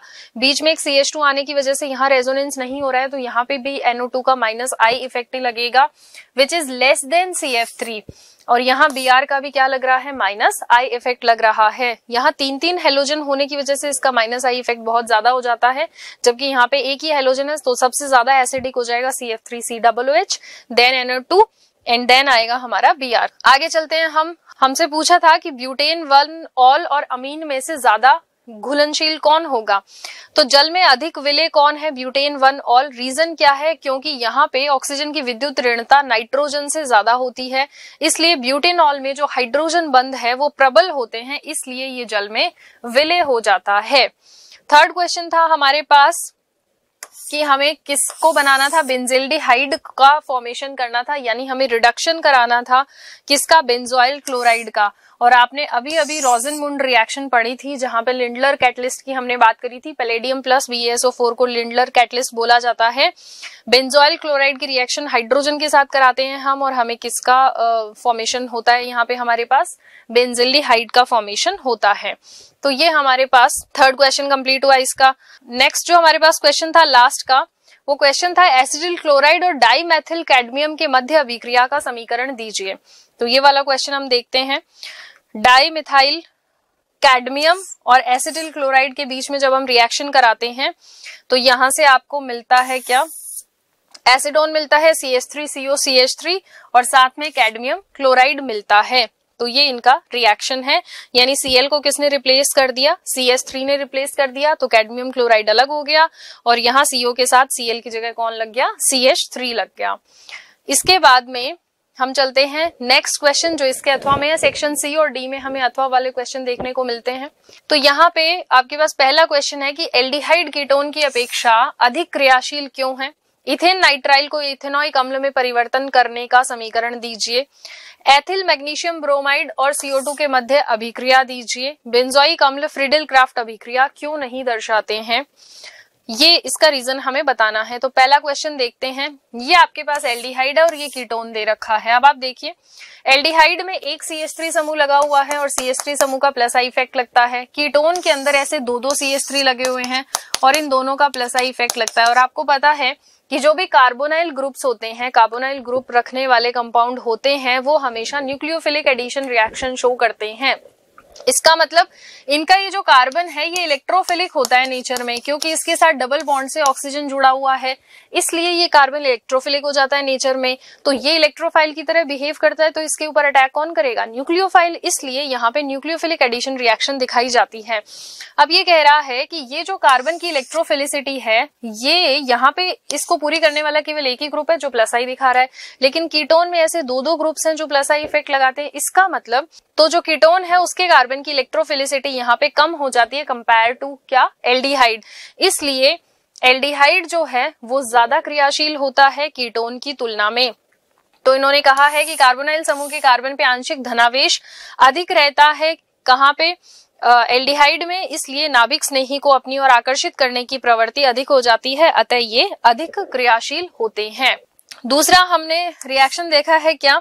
ये हमको मिथाइल साइनाइड दे रखा है डाइल्यूट एचसीएल की प्रेजेंस में रिएक्शन करा रखी है किसके साथ? वाटर के साथ। तो यहाँ से हमें क्या मिलेगा? एसिटिक एसिड मिलेगा और साथ में मिलेगी अमोनिया कुछ नहीं है हाइड्रोलाइसिस कराना है हमें इसका। तो C H three C triple bond N hydrolysis कराएँगे तो आपको पता है कार्बन और नाइट्रोजन के बीच का बॉन्ड टूटेगा। कार्बन के पास क्या आएगा? ओ OH, नाइट्रोजन के पास क्या जाएगा? हाइड्रोजन तीन बॉन्ड आप तोड़ रहे हैं। तो तीन ओ OH यहाँ और तीन हाइड्रोजन यहाँ। तो ये तो बदल जाएगा NH3 में। अब आप देखते हैं कि कार्बन पे तीन तीन ओ OH लग चुके हैं। कार्बन पे दो OH ही अनस्टेबल होते हैं तो तीन तो बहुत ज़्यादा अनस्टेबल है। तो यहाँ से एक वाटर मॉलिक्यूल बाहर निकल जाता है। और ये जो है किसमें कन्वर्ट हो जाता है? सी डबल ओ एच में कन्वर्ट हो जाता है। तो यहाँ से हमें एसिटिक एसिड का मॉलिक्यूल मिलता है। थर्ड है हमारे पास ये हमें एक्स दे रखा है ग्रिगनार्ड रिएजेंट है, आपको दिख रहा होगा। इसकी रिएक्शन सीओ टू के साथ करवानी है। अब आपको पता है कि सीओ टू में भी क्या है? सी डबल बॉन्ड ओ समूह है न्यूक्लियोफिलिक एडिशन रिएक्शन देगा। बिल्कुल।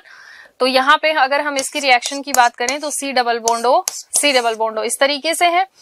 अगर मैं इलेक्ट्रॉन्स की शिफ्टिंग कराऊं तो ऑक्सीजन पे नेगेटिव और कार्बन पे पॉजिटिव चार्ज है। यहाँ से आप देखिए मेटल्स पे हमेशा पॉजिटिव और एल्काइल ग्रुप पे नेगेटिव यानी कार्बन पे नेगेटिव चार्ज आएगा। तो अगर हम इसकी रिएक्शन इसके साथ करवाएँगे तो इस कार्बन के साथ ये डबल बॉन्ड ओ यहाँ पे क्या जुड़ेगा? ऑक्सीजन के पे नेगेटिव चार्ज है तो O M G B R और इस कार्बन से क्या जुड़ जाएगा? ये C two H five group जुड़ जाएगा। इसके बाद में हमने क्या करवाया इसका? हाइड्रोलिसिस करवाया है। जब हम इसका हाइड्रोलिसिस कराएँगे तो ओ और Mg, यानी ऑक्सीजन और मेटल के बीच का बॉन्ड ब्रेक होगा। और इसका बॉन्ड ब्रेक होने से हमें क्या मिलेगा? C two H five C double bond O O H तो ये किसमें कन्वर्ट हो गया? एसिड में कन्वर्ट हो गया और यहाँ से आपको क्या मिल जाएगा? M G B R O H ये आपको प्रोडक्ट देखने को मिलेगा। क्लियर है? इसके बाद में फोर्थ क्वेश्चन है हमारा कि बेंजिल्डिहाइड जो है वो फ्रिडल क्राफ्ट रिएक्शन क्यों नहीं देता है?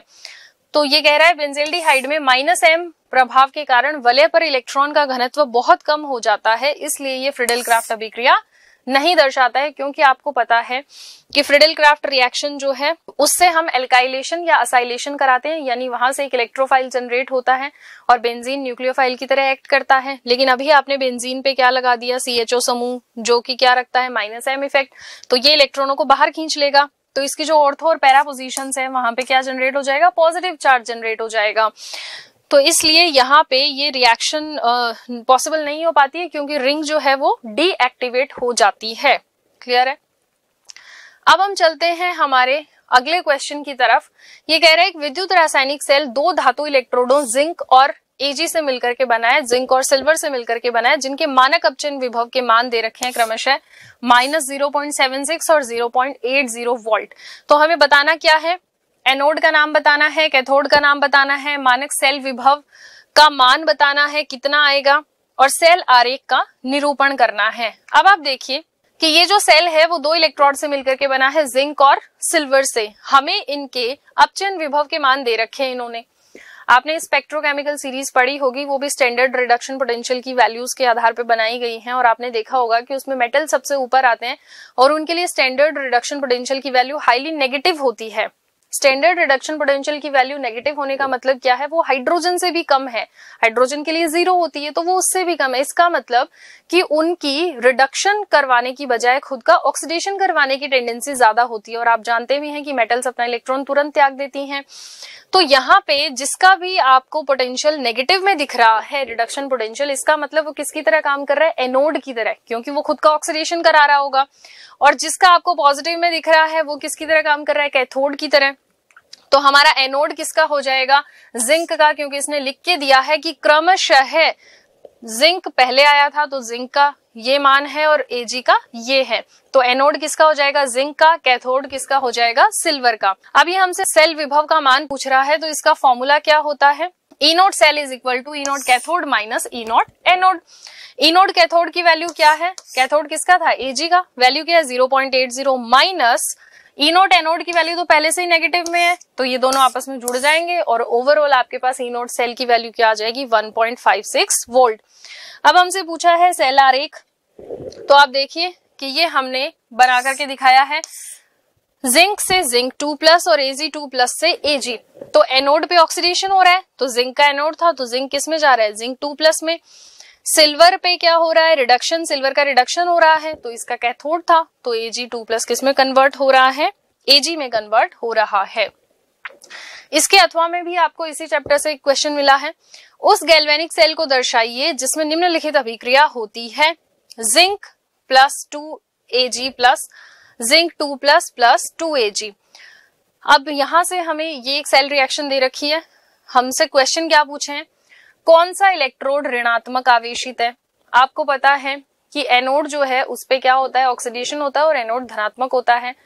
ऋणात्मक कौन होता है? कैथोड तो कौन सा इलेक्ट्रोड ऋणात्मक आवेशित है? यानी हमसे ये पूछ रहा है कि कैथोड किसका है? अब आपको यहाँ से दिख रहा होगा कि जिंक का तो हो रहा है oxidation zinc zinc two plus में कन्वर्ट हो रहा है। यानी इसका तो एनोड है। एजी प्लस किसमें जा रहा है? एजी में जा रहा है। इसका मतलब ये किसमें कन्वर्ट हो रहा है? इसका क्या हो रहा है? रिडक्शन हो रहा है। तो एजी प्लस एजी में बदल रहा है मतलब इसका हो रहा है रिडक्शन इसका मतलब कैथोड किसका है? सिल्वर का। तो ये पूछ रहा है कौन सा इलेक्ट्रोड ऋणात्मक आवेशित है? तो कौन सा है वो इलेक्ट्रोड सिल्वर का यानी एजी सेल में विद्युत धारा के वाहक कौन है? देखो, विद्युत धारा के वाहक इलेक्ट्रॉन्स है। जैसे जिंक ने दो इलेक्ट्रॉन बाहर निकाले, फिर सिल्वर ने उन्हीं इलेक्ट्रॉन्स को कैप्चर करा। तो ये जो हमारे विद्युत धारा के वाहक हैं, वो कौन है? इलेक्ट्रॉन्स हैं। प्रत्येक इलेक्ट्रोड पर होने वाली अभिक्रिया क्या है? तो आपको पता है एनोड पे ऑक्सीडेशन होता है तो आप रिएक्शन लिख देंगे। जिंक से जिंक टू प्लस बना, साथ में दो इलेक्ट्रॉन यहाँ पे निकलते हैं, ये एक ऑक्सीकरण अभिक्रिया है। कैथोड पे two A G plus plus two electron और ये किसमें बदल जाता है? टू एजी में। तो यहाँ इलेक्ट्रॉन कैप्चर हुए तो इसका मतलब ये क्या है? अपचयन है। ठीक है? तो ये हमारे सारे क्वेश्चंस कंप्लीट होते हैं। हमारा मॉडल पेपर जो है वो कंप्लीट होता है। But still if you have any doubt in any question you can ask in comment section thank you